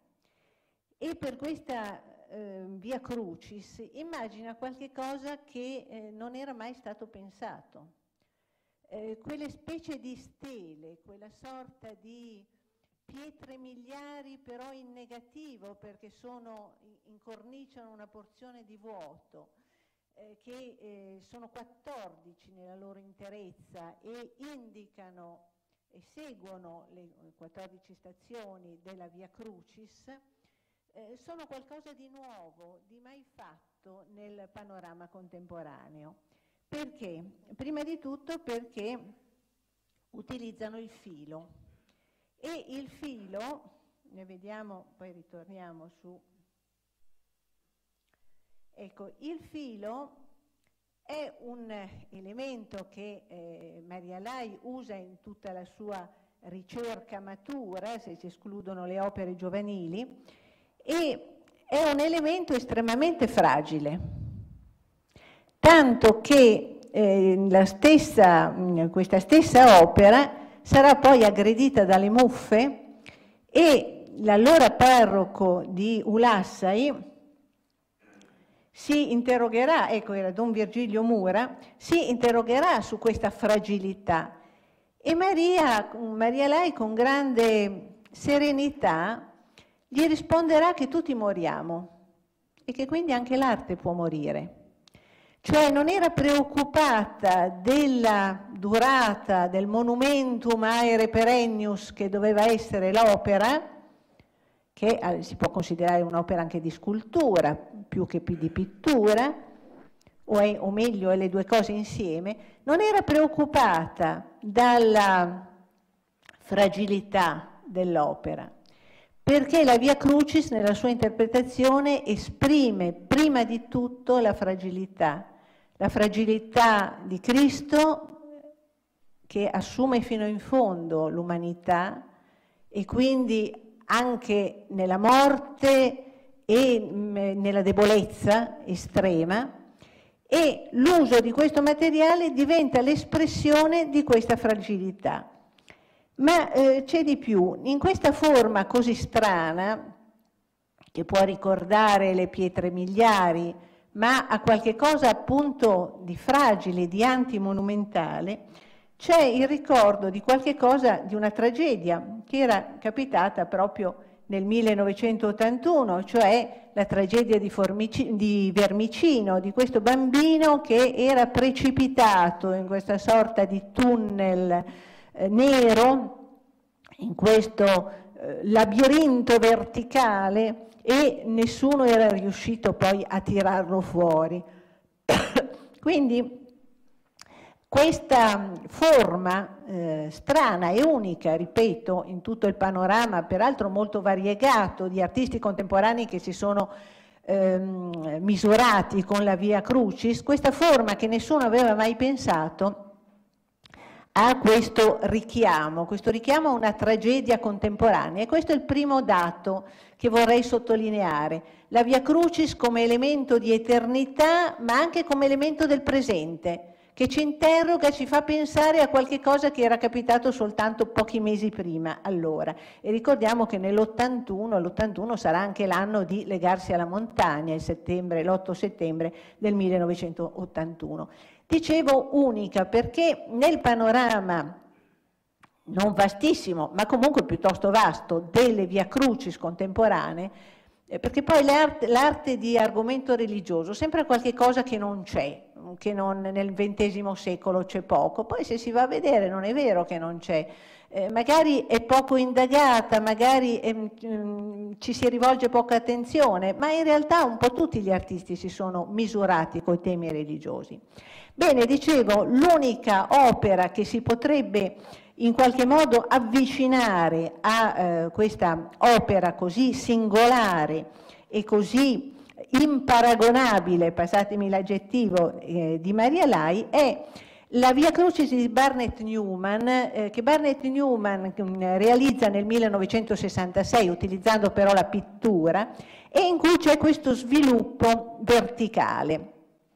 L'opera di Barnett Newman era piuttosto conosciuta nella Roma degli anni 60 e mh, eh, ricordo per esempio che eh, Toti Scialoia, che era uno dei protagonisti dell'informale romano, e tra l'altro curiosamente è stato il primo che mi ha parlato dell'opera di Maria Lai ancora vari decenni fa, eh, diceva che eh, così se n'era parlato molto dell'ambiente romano. Ma in Barnett Newman c'è un'astrazione totale, cioè eh, tutti eh, i 14 pannelli della sua Via Crucis, che oggi si trova a Washington, al museo, eh, alla Galleria Nazionale d'Arte Moderna di Washington, sono eh, tutti molto simili e sono appunto opere astratte. Mentre in Maria Lai c'è il tentativo riuscito di legare insieme il segno astratto alla eh, al recupero della figurazione. E allora un'altra cosa da notare in queste opere, questa è la prima, la prima stazione, è che legano insieme in un modo efficace, intenso, riuscito l'immagine, cioè la figura, e il segno astratto. Siamo agli inizi degli anni Ottanta e nel mondo dell'arte sta succedendo una certa rivoluzione, cioè al clima eh, dominato dal concettuale, dall'arte concettuale degli anni 70, si sta passando a un recupero della pittura e a un recupero anche dell'immagine, della figurazione. Eh, quindi all'interno di una pittura che si vuole, una pittura anche istintiva, una pittura, una pittura tra virgolette selvaggia. Allora, Maria Lai la troviamo nel, così in prima fila in questa eh, metamorfosi, in questo recupero anche dell'immagine e della pittura, pur mantenendo sempre eh, il suo legame con il segno e con quell'elemento che usava, che era il filo e non, e non appunto i pennelli oppure i colori. Eh, questo dunque è il primo elemento che possiamo notare, questo mh, mm, legame dell'artista con il suo tempo. Altra cosa, ehm, il groviglio. Vedrete che in ogni eh, stazione della Via Crucis eh, che Maria eh, interpreta ci sono sempre dei grovigli di filo. Il filo da un lato, eh, guardate in, questo, in quest'opera che è la, la prima stazione, Gesù è condannato a morte, abbiamo eh, da un lato il soldato romano, ecco, è un po' sfocata, ma qui così in questo ingrandimento lo vedete meglio, il, il soldato romano con l'elmo, Cristo vicino, ma poi l'immagine è come se si, come se svanisse e vedessimo poi soltanto un groviglio, vedessimo soltanto un arruffarsi del filo e questo ritornerà in tutte le stazioni.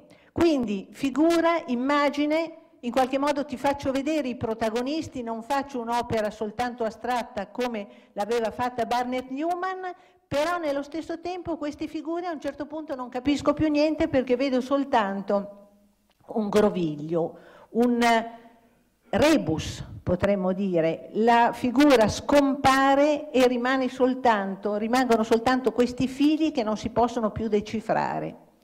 E questo è l'altro elemento centrale in questa Via Crucis, il mistero, che è il mistero del dolore, è il mistero della stessa Via Crucis, è il mistero del sacrificio di Cristo, ma è il mistero che ci circonda, è il mistero della nostra vita.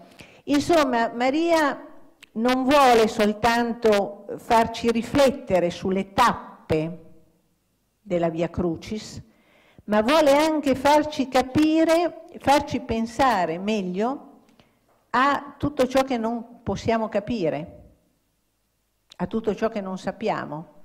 Quindi in ogni elemento ecco che eh, accanto all'immagine c'è anche questo svanire dell'immagine, questo svanire in un arruffarsi dei segni, eh, un po' come in una poesia di, del Porta che dice venne un giorno che della mia vita non seppi più nulla, tranne quello che mi diceva il barbiere. Sembra una battuta, no? ma capita in certi momenti che della tua vita non capisci più nulla. Venne un giorno in cui della mia vita non seppi più nulla, tranne quello che mi diceva qualcuno di estraneo, quindi cosa mai potrà dirmi. Passiamo alla seconda. Anche qui Cristo è caricato dalla croce. Vedete anche qua gli elementi che abbiamo già visto, le immagini riconoscibili, Cristo al centro, eh, i centurioni romani, e poi il cadere dell'immagine, lo svanire dell'immagine, l'arruffarsi che non ci permette più di decifrare l'immagine stessa. Altro elemento, la geometria. Nelle, in tutte le stazioni della Via Crucis la croce è nitidamente geometrica. Geometria significa misura della terra, misura quindi. La geometria è qualcosa eh, di eh, razionale per definizione e Maria Lai interpreta la croce come qualche cosa, dandole sempre la nitidezza di un teorema matematico, dandole la forma più chiara, più precisa, come se lo strumento di tortura e di morte eh, riservato agli schiavi fosse l'unica cosa chiara. E in effetti di eh, tutte le cose che ci riguardano, eh, il dolore è, ahimè, la cosa insieme più misteriosa ma anche più chiara. Un altro elemento che eh, ricorre è il contrasto fra bianco e nero e anche questo è un elemento simbolico, un elemento eh, che richiama il contrasto fra la vita e la morte, fra la chiarezza e eh, l'oscurità, fra la luce e le tenebre. È un contrasto, Maria avrebbe potuto usare dei fili colorati come fa in altre opere, ma in questa vuole proprio portare all'essenzialità, eh, a un'essenzialità metafisica questo contrasto, la luce e le tenebre, il male e il bene, il supremo bene che è Cristo e il supremo dolore e, eh, che è la sua passione e il dominio delle tenebre, perché la Via Crucis è il dominio delle tenebre fino al eh, trionfo eh, di Cristo.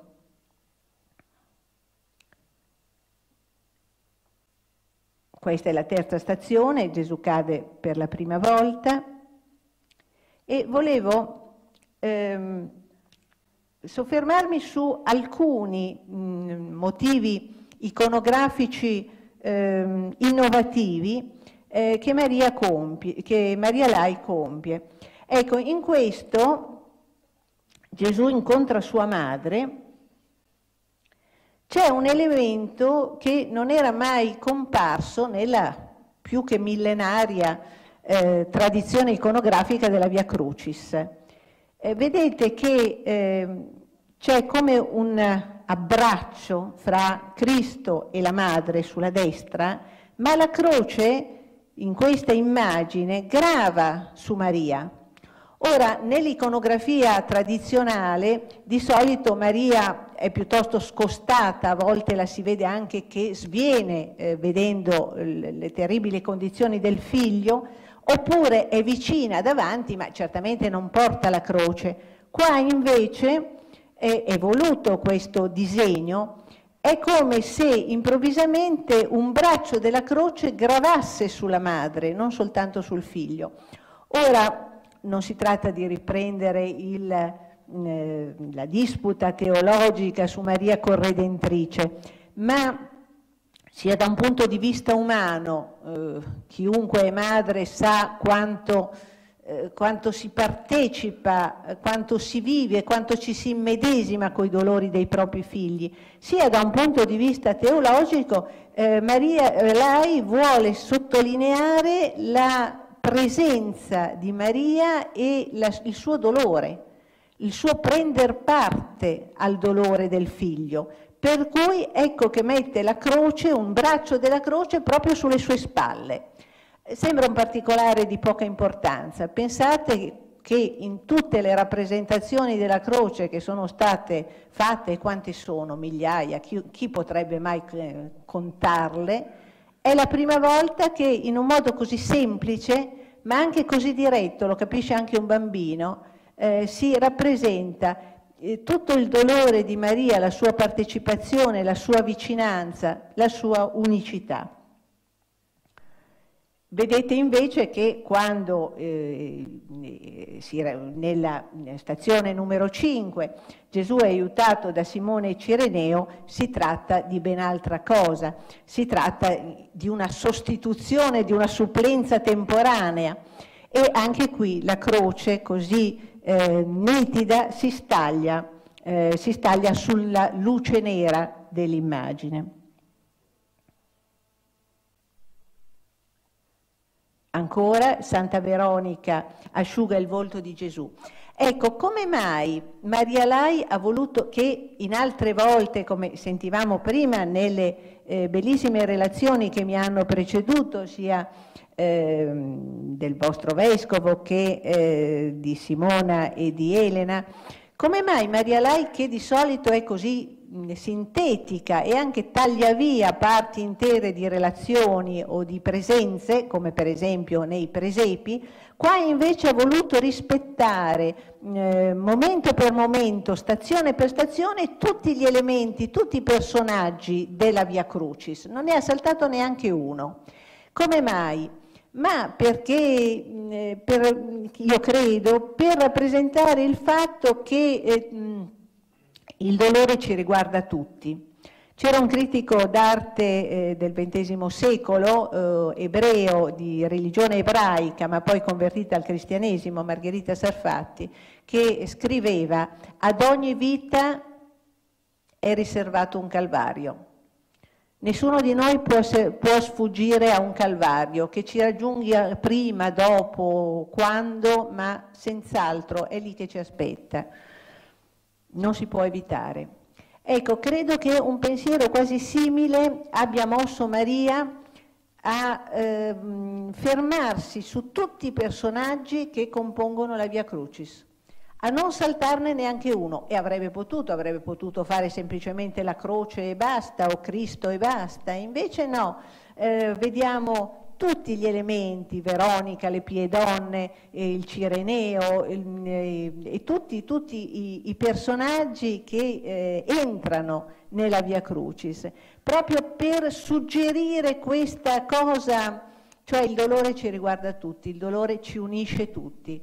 E forse dovremmo fare, come diceva Schopenhauer, essere più compassionevoli gli uni con gli altri, capendo che siamo dei poveretti, che siamo degli sventurati, che siamo tutti sotto il gioco del dolore, iscritti tutti sotto il gioco del dolore e quindi il sentimento che dovrebbe legarci o dovrebbe avvicinarci gli uni agli altri è un sentimento di compassione.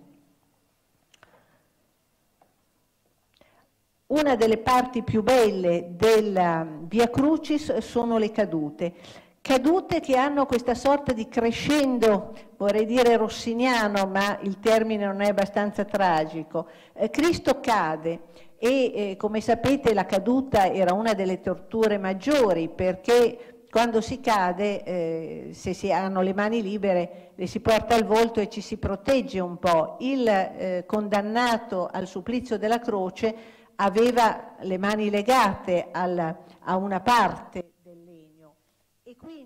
la caduta era una tortura tremenda perché ti sfigurava la faccia e mh, eh, alcune delle mh, eh, tavole più mh, intensamente drammatiche sono proprio quelle, le tre, che esprimono le tre cadute di Cristo. La croce nella sua metafisica bellezza geometrica ehm, rimane sullo sfondo Cristo cade, intorno c'è tutto un accorrere eh, più o meno eh, così contingente delle persone vicine e poi questo piovere disordinato di segni, di linee, di fili appunto che eh, simboleggiano tutto ciò che non capiamo.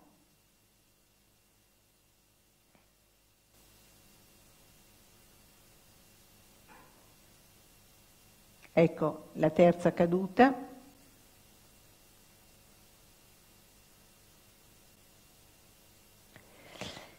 Bisognerebbe anche, ma il discorso sarebbe troppo lungo, sottolineare che il fatto di usare il filo anziché un disegno, anziché il disegno a matita, ehm, crea una sorta di piccola punteggiatura eh, nel, nel lavoro e questa punteggiatura a sua volta crea una sorta di ritmo che si vede benissimo guardando ognuna di queste tavole un ritmo che non sarebbe dato da una linea continua, da una linea, da un contorno non interrotto.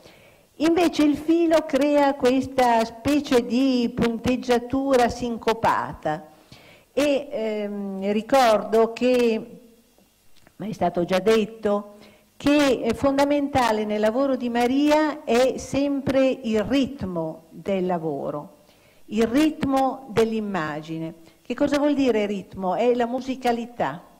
Ritmo, che cosa voleva dire ritmo? L'aveva spiegato Salvatore Camboso quando Maria era ancora una ragazza, una ragazzina.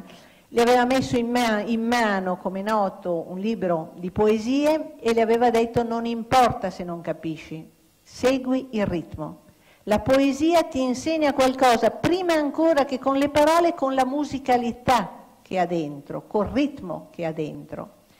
Ecco, quando guardiamo le opere di Maria, qualunque opera, ricordiamoci sempre che prima dell'immagine o prima del segno c'è il ritmo, una musicalità nascosta che però crea l'immagine prima ancora o crea il segno prima ancora che noi capiamo di che cosa si tratta. E ancora, e concludo, guardate questo parossismo di eh, linee dove sullo sfondo Cristo spogliato dalle sue vesti e il segno che diventa improvvisamente un coacervo di eh, ripetizioni, di, eh, di, un, con, di, un, eh, dire, di una strada, di un percorso di cui non si conosce più né l'inizio né la fine. Come descrivere come descrivere questa immagine? Se dovessimo descriverla, in alto è chiarissima, Cristo a cui strappano le vesti, ma sotto, sotto ci sono forse degli astanti, ci sono delle figure di cui vediamo delle sagome ma che non distinguiamo più bene, quello che vediamo è soprattutto il disordine, il caos, potremmo dire, il caos lineare. E questo caos è tutto ciò che non sappiamo della nostra vita. E chiudo mostrandovi queste ultime eh, battute, eh, anche qui bellissime, commoventi, Cristo inchiodato sulla croce, dove Maria eh, anche ancora una volta non, mm, non elude l'immagine. L'aguzzino che col coltello pianta il chiodo nei polsi di Cristo, eh, il condannato alla croce, al supplizio della croce, era inchiodato sui polsi, non sulle mani che non avrebbero retto, la, non avrebbero retto il chiodo, Dunque mh, descrive e eh, riproduce benissimo la sagoma, per quanto eh, semplificata sinteticamente, la sagoma dell'inchiodatore, per così dire, e nello stesso tempo poi ci riporta a tutto ciò che l'arte non deve dire, ma deve soltanto far capire alludendo. E infine la croce la deposizione e il sepolcro.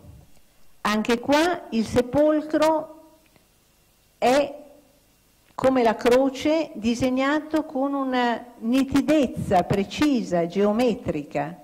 Il buco nero che dovrebbe essere il sepolcro è invece la cosa più chiara, come esattamente la croce e credo che eh, Maria Lai abbia voluto attraverso questa geometria nitida sottolineare che alla fine, alla fine di tutto quello che noi non capiamo, alla fine di tutto il mistero in cui siamo immersi, però per fede possiamo avere la certezza che la croce e il sepolcro non sono l'ultima parola, l'ultima parola è la risurrezione.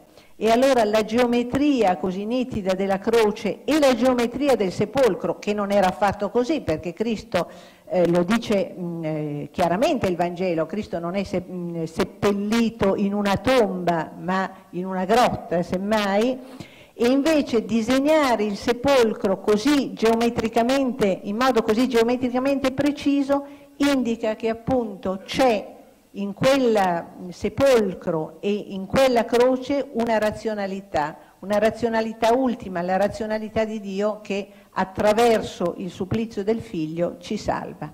Grazie.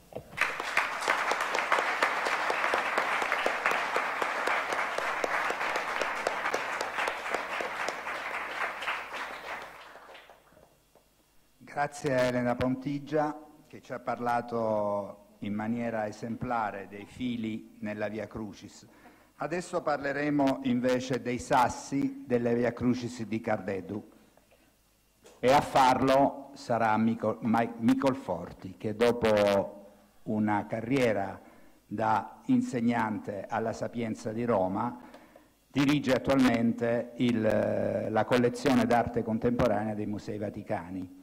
Ha curato anche la Biennale di Venezia della 55esima e la 56esima Biennale di Venezia, sempre per i Musei Vaticani, e anche la Biennale di Architettura, sempre a Venezia.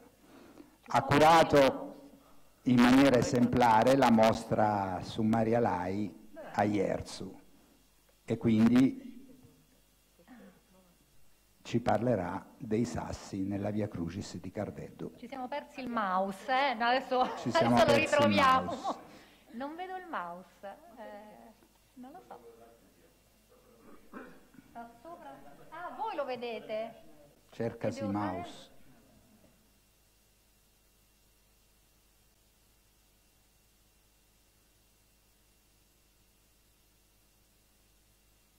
Ah, era andata tutta dall'altra parte.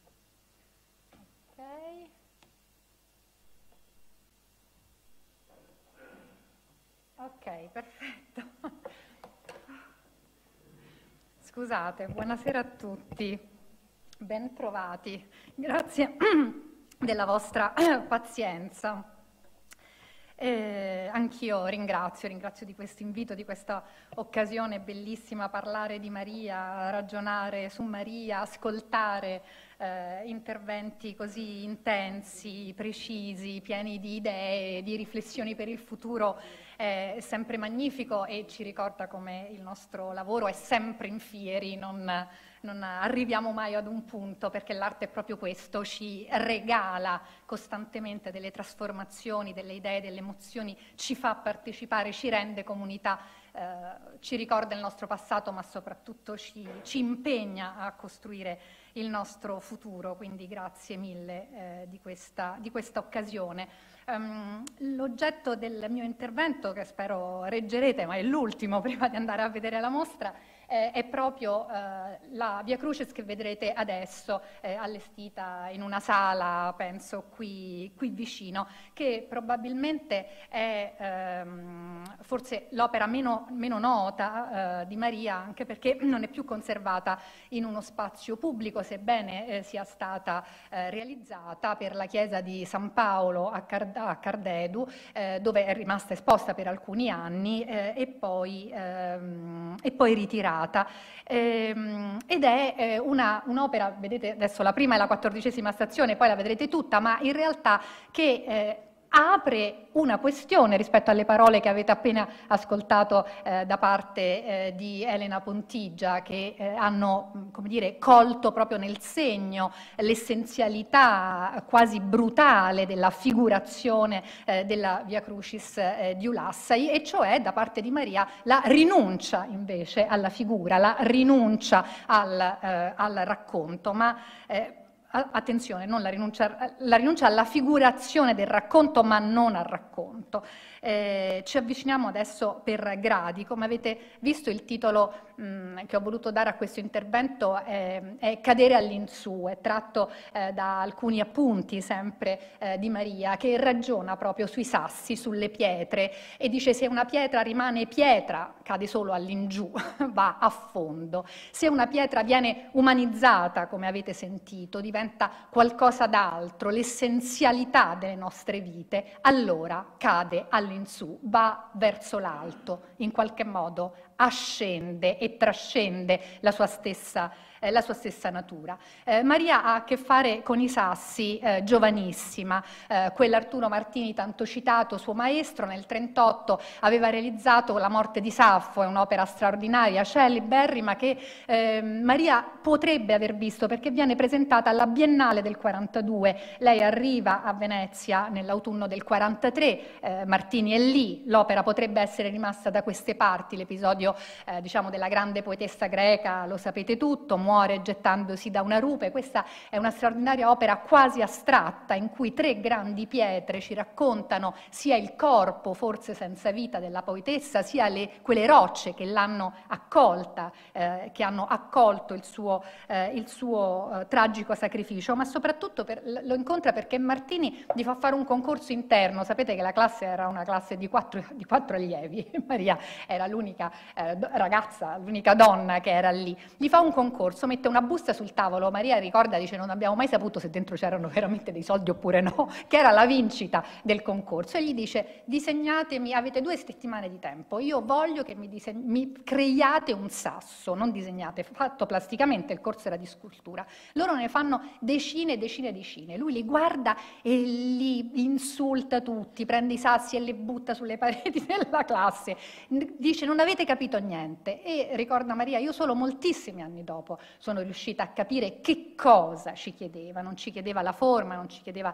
la bellezza, non ci chiedeva eh, la similitudine eh, con la natura, si, ci chiedeva di crearlo, ci, credeva, ci, chiedeva la creazione, da lì la celebre frase eh, che eh, la pietra deve eh, lievitare come il pane, perché la creazione è un atto naturale, ma è un atto che deve essere interamente progettato. Eh, ma in realtà eh, l'elemento della, della, materialità della pietra o di qualcosa che gli è molto simile appartiene alla scultura di questi anni in modo molto capillare. Vi faccio vedere eh, proprio una carrellata di poche cose, ma per farvi vedere come oscilla la riflessione degli artisti eh, negli anni fra i 20 e i 30. Questo è il celeberrimo inizio del mondo, le commencement du monde eh, di eh, eh, Brancusi, siamo nel 24, questo ovviamente la forma non è un semplice sasso ma è un uovo, eh, quindi proprio anche l'origine della vita in cui eh, l'elemento scultoreo è perfettamente levigato, ma questa levigatezza la ritrovate proprio nella Via Crucis di Cardedu, una concrezione umana eh, di eh, Jean Arp del 33 o ancora eh, di Henry Moore, queste due forme che sembrano due forme quasi geometriche geometriche, ma in realtà lo stesso scultore inglese ci dice che è una maternità è un feto che si separa dal corpo della madre, siamo nel 34, o ancora qualcosa di completamente diverso, ma, è, ma ve lo voglio lanciare perché è un tema su cui sto lavorando. Questo è un uh, giovane uh, David di uh, Giacomo Manzù, è ancora un ragazzo, ma sta simbolicamente seduto forse su quel sasso che un giorno userà per uccidere Egolia. E il sasso è nella eh, nella tradizione anche dell'Antico eh, Testamento e questo è un lavoro che sto facendo la riconoscete tutti, questo è Bernini, il David di Bernini, siamo nel 1623, è il sasso che tiene nella mano, guardate la meraviglia della geometria poliedrica eh, di quella mano. Eh, dunque il sasso, il, il sasso, la pietra, la, la, plasticità è qualcosa che è nella formazione di Maria, è nel suo occhio, nella sua mano, nella sua intelligenza, anche quando lei ancora prevalentemente dipinge. Alcune opere eh, giovanili come il Gregge del eh, 59 o anche L'Ovile, pur essendo eh, delle opere ancora eh, diciamo, pienamente pittoriche, ehm, eh, hanno proprio questa sintesi mh, mm, mm, geometrica che riconduce la forma evidentemente animale a qualcosa di eh, più immobile. Eh, quest'opera che ottiene il premio alla seconda eh, Biennale di eh, pittura di Nuoro, che aveva una giuria assolutamente eccellente, c'era Marco Valsecchi, c'era Carlo Bambieri, c'era Marcello Venturoli, che è stato uno dei, delle firme che hanno seguito la crescita di Maria nel corso della sua carriera, la, ehm, la premia con una nota, immobilità pietrosa del gregge che si confonde con l'asprezza del monte,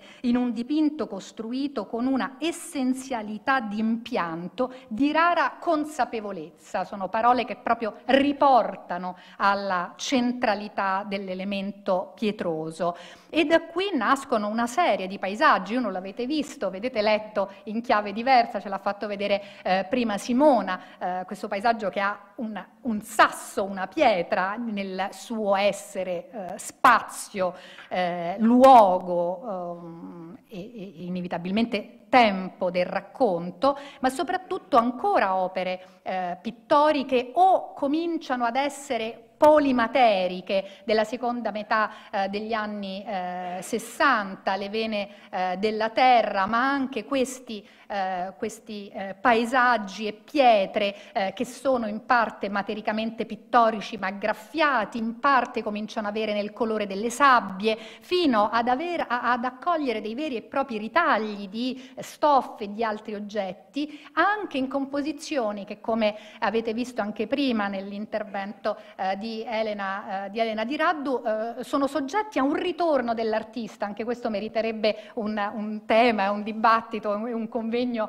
anche articolato, questo tornare sulle proprie opere. Questa è un'opera del 65 nella parte centrale che poi Maria ricompone, in questo caso inserisce proprio dei veri e propri sassi, quelli che poi eh, vedete anche nelle stazioni della Via Crucis. Eh, la polimatericità è un tema eh, perfettamente diciamo, seguito da Maria, eh, lasciamo perdere ovviamente eh, le, le, le, le esperienze delle avanguardie, avanguardie, da quelle, dal cubismo, dagli anni 10 con, con Picasso ovviamente, ma eh, Maria conosceva bene il testo di Prampolini, eh, l'arte polimaterica del 1956, che è un testo eh, cardine nella maturazione del pensiero eh, estetico e anche della produzione dell'arte italiana. E, e, e, questo, e questa attenzione a una materia che però non è una materia semplicemente trasferita in uno spazio altro, ma è una materia che deve collaborare, entrare in relazione con noi e generare un'idea um, formale e dunque un contenuto,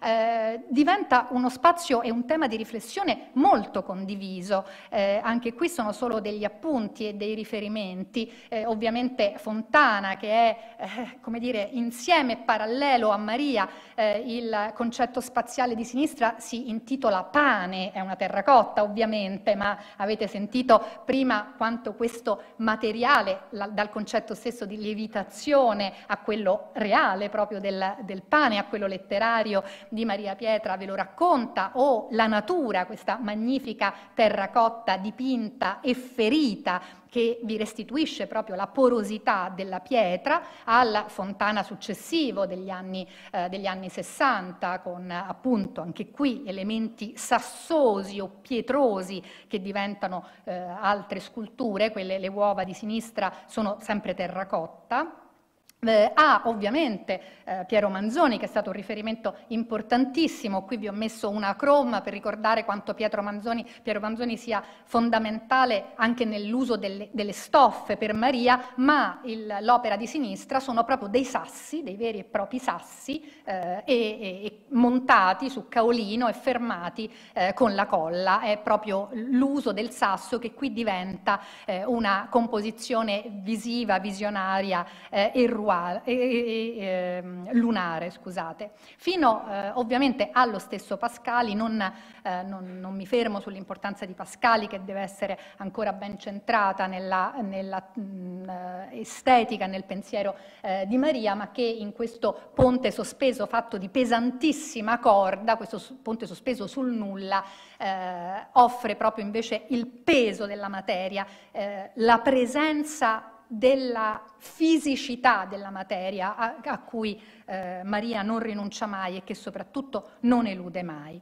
Eh, la pietra per lei è molto importante, deve essere importante, anche perché eh, decide di usarla e decide di usarla in un contesto completamente diverso. Ringrazio Don Ignazio eh, per avermi in estremis fornito eh, uh, l'immagine della tomba di Giuseppe De Sì, che non è più eh, come era quando Maria l'ha pensata e quando eh, era morto solo, solo, Giuseppe, non la seconda tomba, ma quello che vedete è un sasso di un fiume la sua lapide è un grande sasso del fiume di Villa Cidro, che sapete essere il protagonista di Paese d'Ombre, il luogo reale dove Paese d'Ombre è, è, è ambientato. Mm, lei l'aveva immaginato sulla terra, sulla terra, eh, quindi su un prato direttamente poggiato sulla terra, aveva anche immaginato una superficie riflettente, poi eh, va bene, le tombe sono us- luoghi che usiamo dove, che sono per il compianto e la memoria anche dei familiari, quindi ha avuto eh, probabilmente una sua trasformazione, però ve lo volevo mostrare perché questa amicizia così, eh, così profonda, questa, eh, questo sodalizio intellettuale, eh, artistico e letterario eh, così, così, mh, così, costante, mai interrotto, fatto anche di reciproche eh, sollecitudini e sollecitazioni, è stato, come dire, celebrato nel momento doloroso del distacco, De Sì muore nel 77, eh, proprio da parte eh, della sua amica, proprio scegliendo eh, ciò di cui stiamo ragionando, eh, stiamo ragionando adesso, eh, e cioè, eh, e, cioè, un sasso. Ma nel 77 Maria realizza anche un'altra opera, fra le molte ovviamente, ma l'ho scelta per aprire e offrirvi alla riflessione un altro spunto. Mm, quest'opera senza titolo, che però è, è dichiaratamente chiaramente una maternità, quasi un ex voto, un'immagine di una giovane eh, donna con un bimbo eh, in braccio, eh, la cui eh, immagine eh, fotografica incollata sulla stessa superficie riflettente di cui prima Simona ci ha mostrato, no, oh, Elena scusa, ci ha mostrato il bimbo eh, del, del presepio insieme a oggetti che la decorano, è inserita in una scatola. Ecco, questo elemento è molto importante, l'avete vista in molte opere di Maria. Una scatola, anche questa fa parte della storia dell'arte, anche qui fin dagli anni 10, appunto citavamo prima Picasso, usa eh, delle piccole cassette per inserire le sue composizioni, spesso proprio le composizioni polemateriche che hanno bisogno di, un, eh, di, un, di uno spazio. Per Maria questa, la scatola è veramente una soglia, l'avete vista nella Via Crucis di Ulassa, il, la rivedete adesso nella Via Crucis eh, di Cardedu. È uno spazio altro, una finestra che ci consente di accedere ad un altrove, da, de, che, e l'arte fa proprio, è quasi l'incarnazione dell'arte che riesce a farci entrare e confrontarci con una feritoia, con uno spiraglio, attraverso la quale quell'altrove è in qualche modo afferrabile, intuibile o comunque sempre possibil-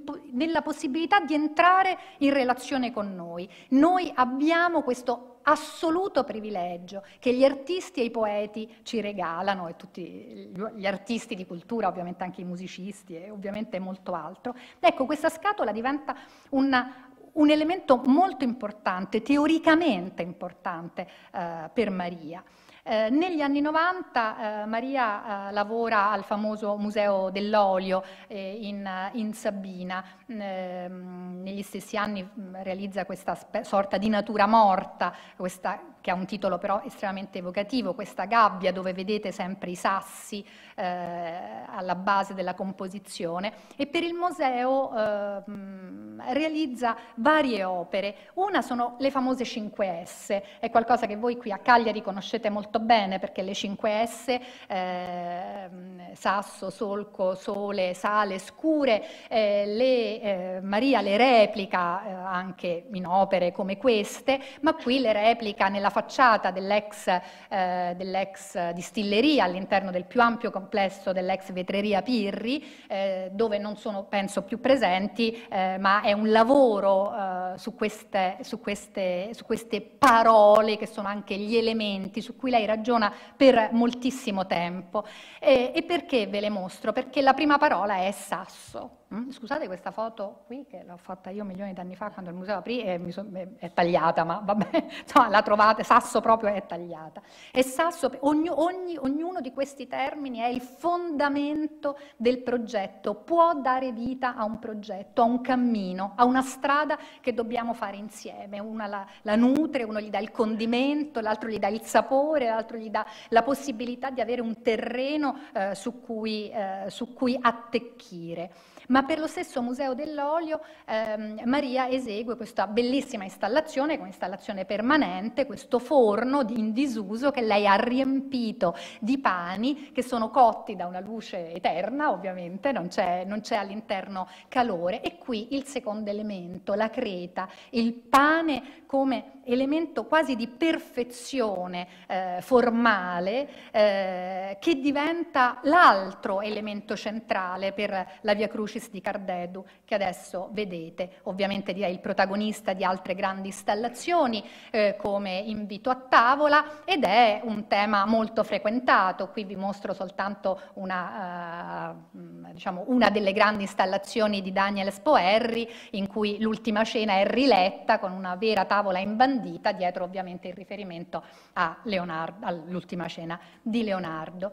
Ehm, in, eh, negli anni 2000 eh, questo, questo, elemento della rotondità del pane, della sua perfezione, eh, prende spazio in molte opere diverse, in parte l'avete viste.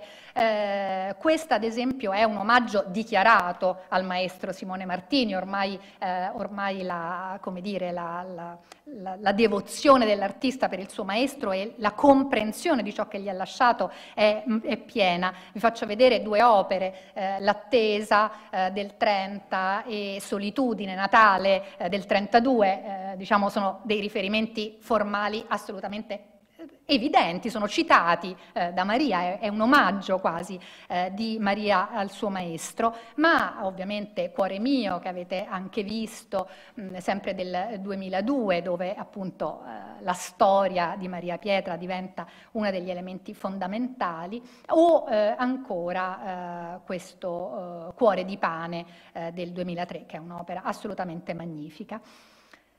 Nel 2008 eh, Maria realizza eh, una serie di cose molto importanti, realizza ehm, una, una, celebrazione per eh, Costantino Nivola, era il ventenario eh, della sua scomparsa, o, eh, realizza le famose 3S per l'ex vetreria Pirri proprio nel, eh, nel 2008 e, e, poi realizza su committenza la Via Crucis di, per San Paolo di Cardedo. Io ricordo questo che è un particolare assolutamente assolutamente fondamentale. A differenza dei presepi, che sono opere che possono nascere da una, eh, da una creazione individuale, personale, eh, con un progetto eh, totalmente slegato eh, dagli eventi esterni, le Via Crucis che Maria realizza nel corso della sua vita sono tutte committenze. La prima del 55 la realizza per la chiesa di San Domenico a Cagliari, anche quest'opera non viene accettata dalla comunità domenicana, un'opera completamente diversa dalle alle precedenti che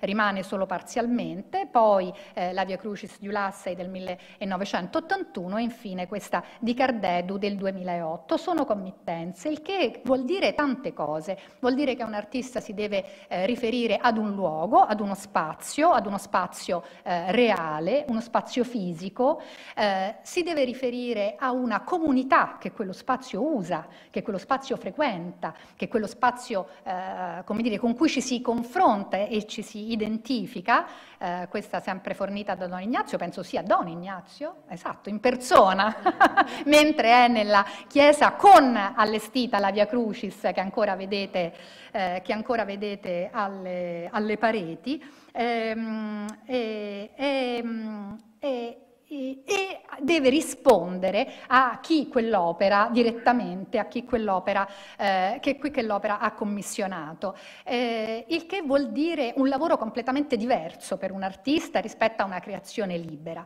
Eh, Don Ignazio ricorda che Maria è stata a lungo in chiesa, eh, è stata a lungo, è stata in quegli spazi, ha eh, annusato quello spazio, lo ha frequentato, lo ha odorato, lo ha vissuto, eh, perché bisogna immaginare eh, l'opera dove andrà, come andrà, come vivrà, perché l'opera nel momento in cui l'artista decide che è fatta, decide che è finita, decide che non ha più bisogno di lui, a quel punto inizia a vivere da sola e si muove, cambia, inciampa, cade, può venire rifiutata, può venire allontanata, può venire ferita, si può ammalare, può essere curata, può essere riabilitata, può risorgere, cambia lei e cambia noi quando la osserviamo, quando entriamo in rapporto con lei, quando la vediamo distrattamente, quando ci entra negli occhi, quando la ricordiamo eh, senza sapere più dov'era, ma ci ricompare alla memoria.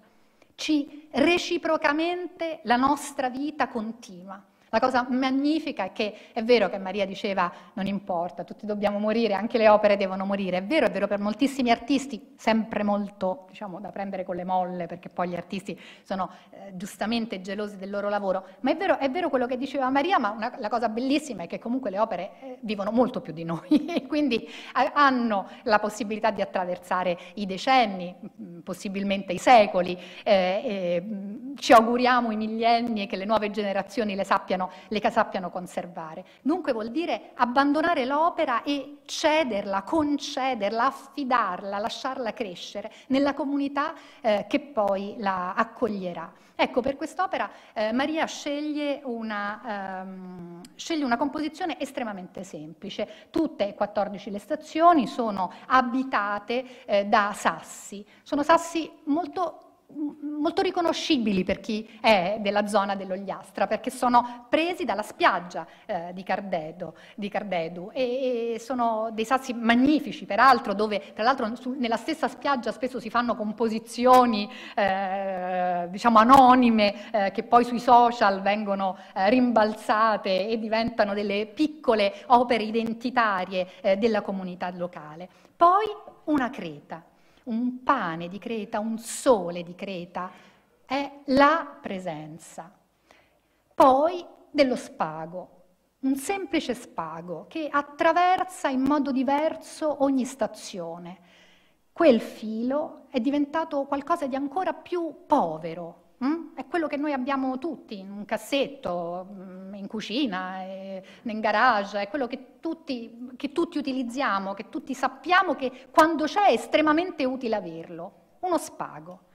E poi una sporcata di pennello a quella cassetta, a quella feritoia, a quello spazio altro che ci permette di confrontarci con qualcos'altro, eh, su cui scrive, questa volta scrive come ha fatto già molti anni prima, dai libri cuciti dove c'era un alfabeto fantastico, solo immaginato, adesso scrive.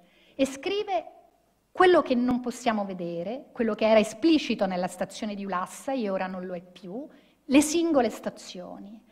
E per mettere la parola, per sostituire la forza di quell'immagine della Via Crucis di Ulassai, sceglie la lingua, la sua lingua, la lingua dell'infanzia, il dialetto dell'infanzia, cioè la lingua intima, la lingua che, che chi entra e chi abita Cardedu sa leggere, sa capire, che per me che sono romana è quasi inafferrabile.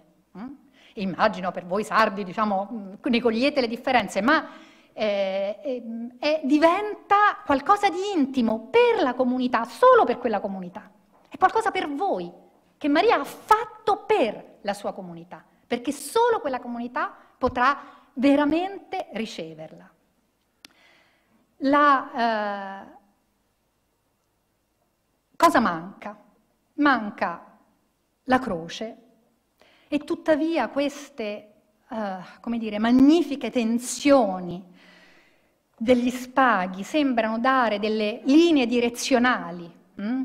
sembrano volerci indicare lo sguardo, la, la, linea, la tensione, la fatica di quella salita, eh? di, quella di quella salita che è un enorme atto di dolore, ma anche il più grande atto di amore che Gesù ha fatto a noi, alla comunità, all'umanità tutta. Quindi è un atto d'amore e come atto d'amore è anche un atto di speranza. Manca la figura del Cristo e qui invece de- non c'è la figura del Cristo, ma c'è l'essenza del Cristo, l'essenza della divinità. Qui c'è un corpo che non si corrompe, che, incia- che anche quando inciampa non sfregia il suo volto, che anche quando incontra la madre non perde la sua perfezione. Il corpo di Cristo in questa via Crucis è già risorto, è luce è la luce. Si rende luce, è perfetto, è immutabile, è. È la via, la luce, la verità, la vita. È, è, è già. Non serve la risurrezione a questa Via Crucis, non servirebbe anche queste 14 stazioni, come ricordiamo è la Via Crucis post Concilio Vaticano II, la, ehm, perché lui è lì è sempre lì, questo sacrificio è stato in qualche modo ripagato. La Via Crucis non è apprezzata dalla comunità che ha una eh, grande difficoltà, ha avuto una grande difficoltà ad accettarla fino a quando si è deciso di eh, rimuoverla dalla Chiesa stessa. Questo è avvenuto in realtà, guardate, per tutte le vie crucis, non è assolutamente un, des- un destino che attiene solo a Maria, è un destino estremamente frequente, perché vi dimostra quanto sia comunitario, identitaria, eh? quanto sia vitale la presenza di qualcosa che è, esiste per la collettività, con la collettività, grazie alla collettività. La, la, Via Crucis si ripete insieme, si fa collettivamente, si rivive quel racconto. Quel racconto non è una storia, è qualcosa che noi rifacciamo ogni venerdì santo, si ripercorre, ne siamo noi testimoni. Ne siamo noi, perché quella croce non solo la portiamo perché ognuno avrà il suo calvario, ma perché la ripercorriamo il giorno del venerdì santo. È quindi nella realtà la realtà. Ecco, in, in questa, uh, in questa, nella sua storia tutte le Via Crucis sono più o meno state rifiutate, anche quella di Ulassai per un piccolo momento spostata nella chiesa di San Sebastiano e poi riposizionata nella chiesa di Sant'Antiaco, ha avuto un momento, diciamo, ha, ha, ha perso la chiesa più importante del paese per poi ritornarci. Questo vi ricorda come le opere sacre siano opere vive, siano opere vive non sono opere immutabili, non sono icone immutabili. Perché è così importante avere un'arte contemporanea sacra? Perché è impossibile che noi oggi nel nostro presente non siamo in grado di esprimere una sacralità liturgica. Vuol dire che allora è il nostro tempo che ha una mancanza, è fallace. Se noi riusciamo ad identificarci solo mettendo la copia settecentesca di Tiepolo, della Madonna di Murillo, della deposizione di Caravaggio, se noi non riusciamo a pregare, se non davanti a elementi iconici assolutamente sedimentati, che noi forse neanche non, non riconosciamo più eh, e che accettiamo volentieri anche in copia, in fotografia, in brutta versione, vuol dire che il nostro presente è mancante, è carente ed è una domanda che da cristiani, da cattolici, ma da cittadini dobbiamo assolutamente porci, non possiamo assolutamente rinunciare. Quindi è un fatto Negativo e positivo al tempo stesso l'essere stato rifiutato, perché vuol dire che quell'opera ha graffiato qualcosa e che bisogna lavorare per riuscire a parlarsi. Chiudo perché eh, riprendo alcune parole iniziali del, eh, di Sua Eccellenza e anche del titolo di questa nostra, di questa nostra eh, conferenza, perché eh, questa, eh, dalle parole sempre di Maria, lei scrive, l'arte ci porta alla trascendenza, si tratta di una teologia non dichiarata, c'è il verbo e c'è il mondo, mi riferisco, scusate, anche alle parole eh, di eh, padre Francesco in apertura, che l'arte è una eh, via eh, verso la trascendenza ma soprattutto chiudo con alcune frasi proprio di quel libercolo che è stato ricordato del suo grande maestro Arturo Martini, Scultura lingua morta, che è un testo che anche chi non si occupa d'arte dovrebbe leggere. All'interno di questo libello c'è una sorta di poesia laica, dove lui affida il suo desiderio di ciò che dovrebbe essere una scultura.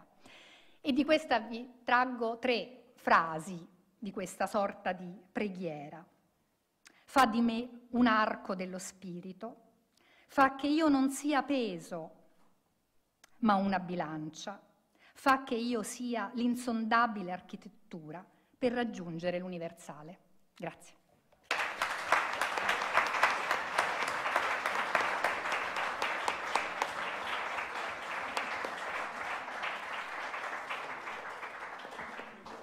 Ringraziamo Micol Forti per il suo brillantissimo intervento. Io devo ringraziare Don Ignazio perché mi ha permesso di essere qui e di assistere a qualcosa di meraviglioso. Vado via arricchito e conoscendo delle cose di Maria Lai che prima non conoscevo. Però non vi è un convegno, non vi è un seminario, non vi è una riunione dove si parli di Maria Lai e non debba parlare la persona che Maria Lai ha permesso eh, di essere conosciuta in tutto il mondo. Sto parlando di Maria Sofia Pisu e vi posso assicurare che Maria Lai è conosciuta in tutto il mondo perché oggi arrivano delle richieste di informazioni dalla Corea, dal Giappone, dal, dal, dall'Australia, dal Canada, per non parlare dell'Europa, Francia e Svizzera. In galleria da noi son, vengono giornalmente delle persone svizzere, vengono dalla Svizzera a Milano per vedere la mostra di Marelai e non accade per altri artisti, accade solo, solo per lei. E a questo punto, nel chiedere a Maria Sofia di accomodarsi e dirci qualcosa, mi frulla una domanda, mi sta frullando da diversi giorni e questa sera me ne hanno fornito lo spunto. Dal 57 la sua prima mostra alla Galleria dell'Obelisco, cosa direbbe lei oggi che è stata agli Uffizi, al Museo Maxi, e forse sto dimenticando qualcosa, alla Biennale di Venezia, a Documenta, cosa direbbe Maria? Penso che riderebbe con un sorriso così molto ironico e direbbe ma chissà. Lei diceva sempre l'artista non sa quello che fa. Oggi si è parlato di Maria in una maniera affascinante, si sono dette cose nuove, ma sempre, ogni volta si dicono cose nuove. Forse questa è la misura della grandezza della sua arte. E, e penso che lei Mm, non dico che ne sarebbe stata felice, ma meravigliata. Io credo che vede, la vedevo lavorare, lavorava distinto. Non penso che lei fosse del tutto consapevole di tutti questi contenuti che qua sono stati analizzati, di tutte queste considerazioni. Era una persona colta. La cultura aveva sedimentato in lei e probabilmente era distinto che creava eh, però sdrammatizzava anche sempre tutto ciò che di bello si diceva di lei. Lei diceva sempre, ma io gioco, io sono felice di, questo, di ciò che faccio. Penso che adesso, se fosse qui, eh, avre- vi avrebbe guardato sorridendo, ma ne sarebbe stata felice. E io voglio ringraziare non solo questi grandi relatori, eh, Sua Eccellenza il Vescovo che è diventato un altro relatore, ma voglio ringraziare anche tutte le persone che sono qui, che penso che si sentano in questo modo legate a Maria affettivamente, oltre che orgogliose di essere sarde. Grazie.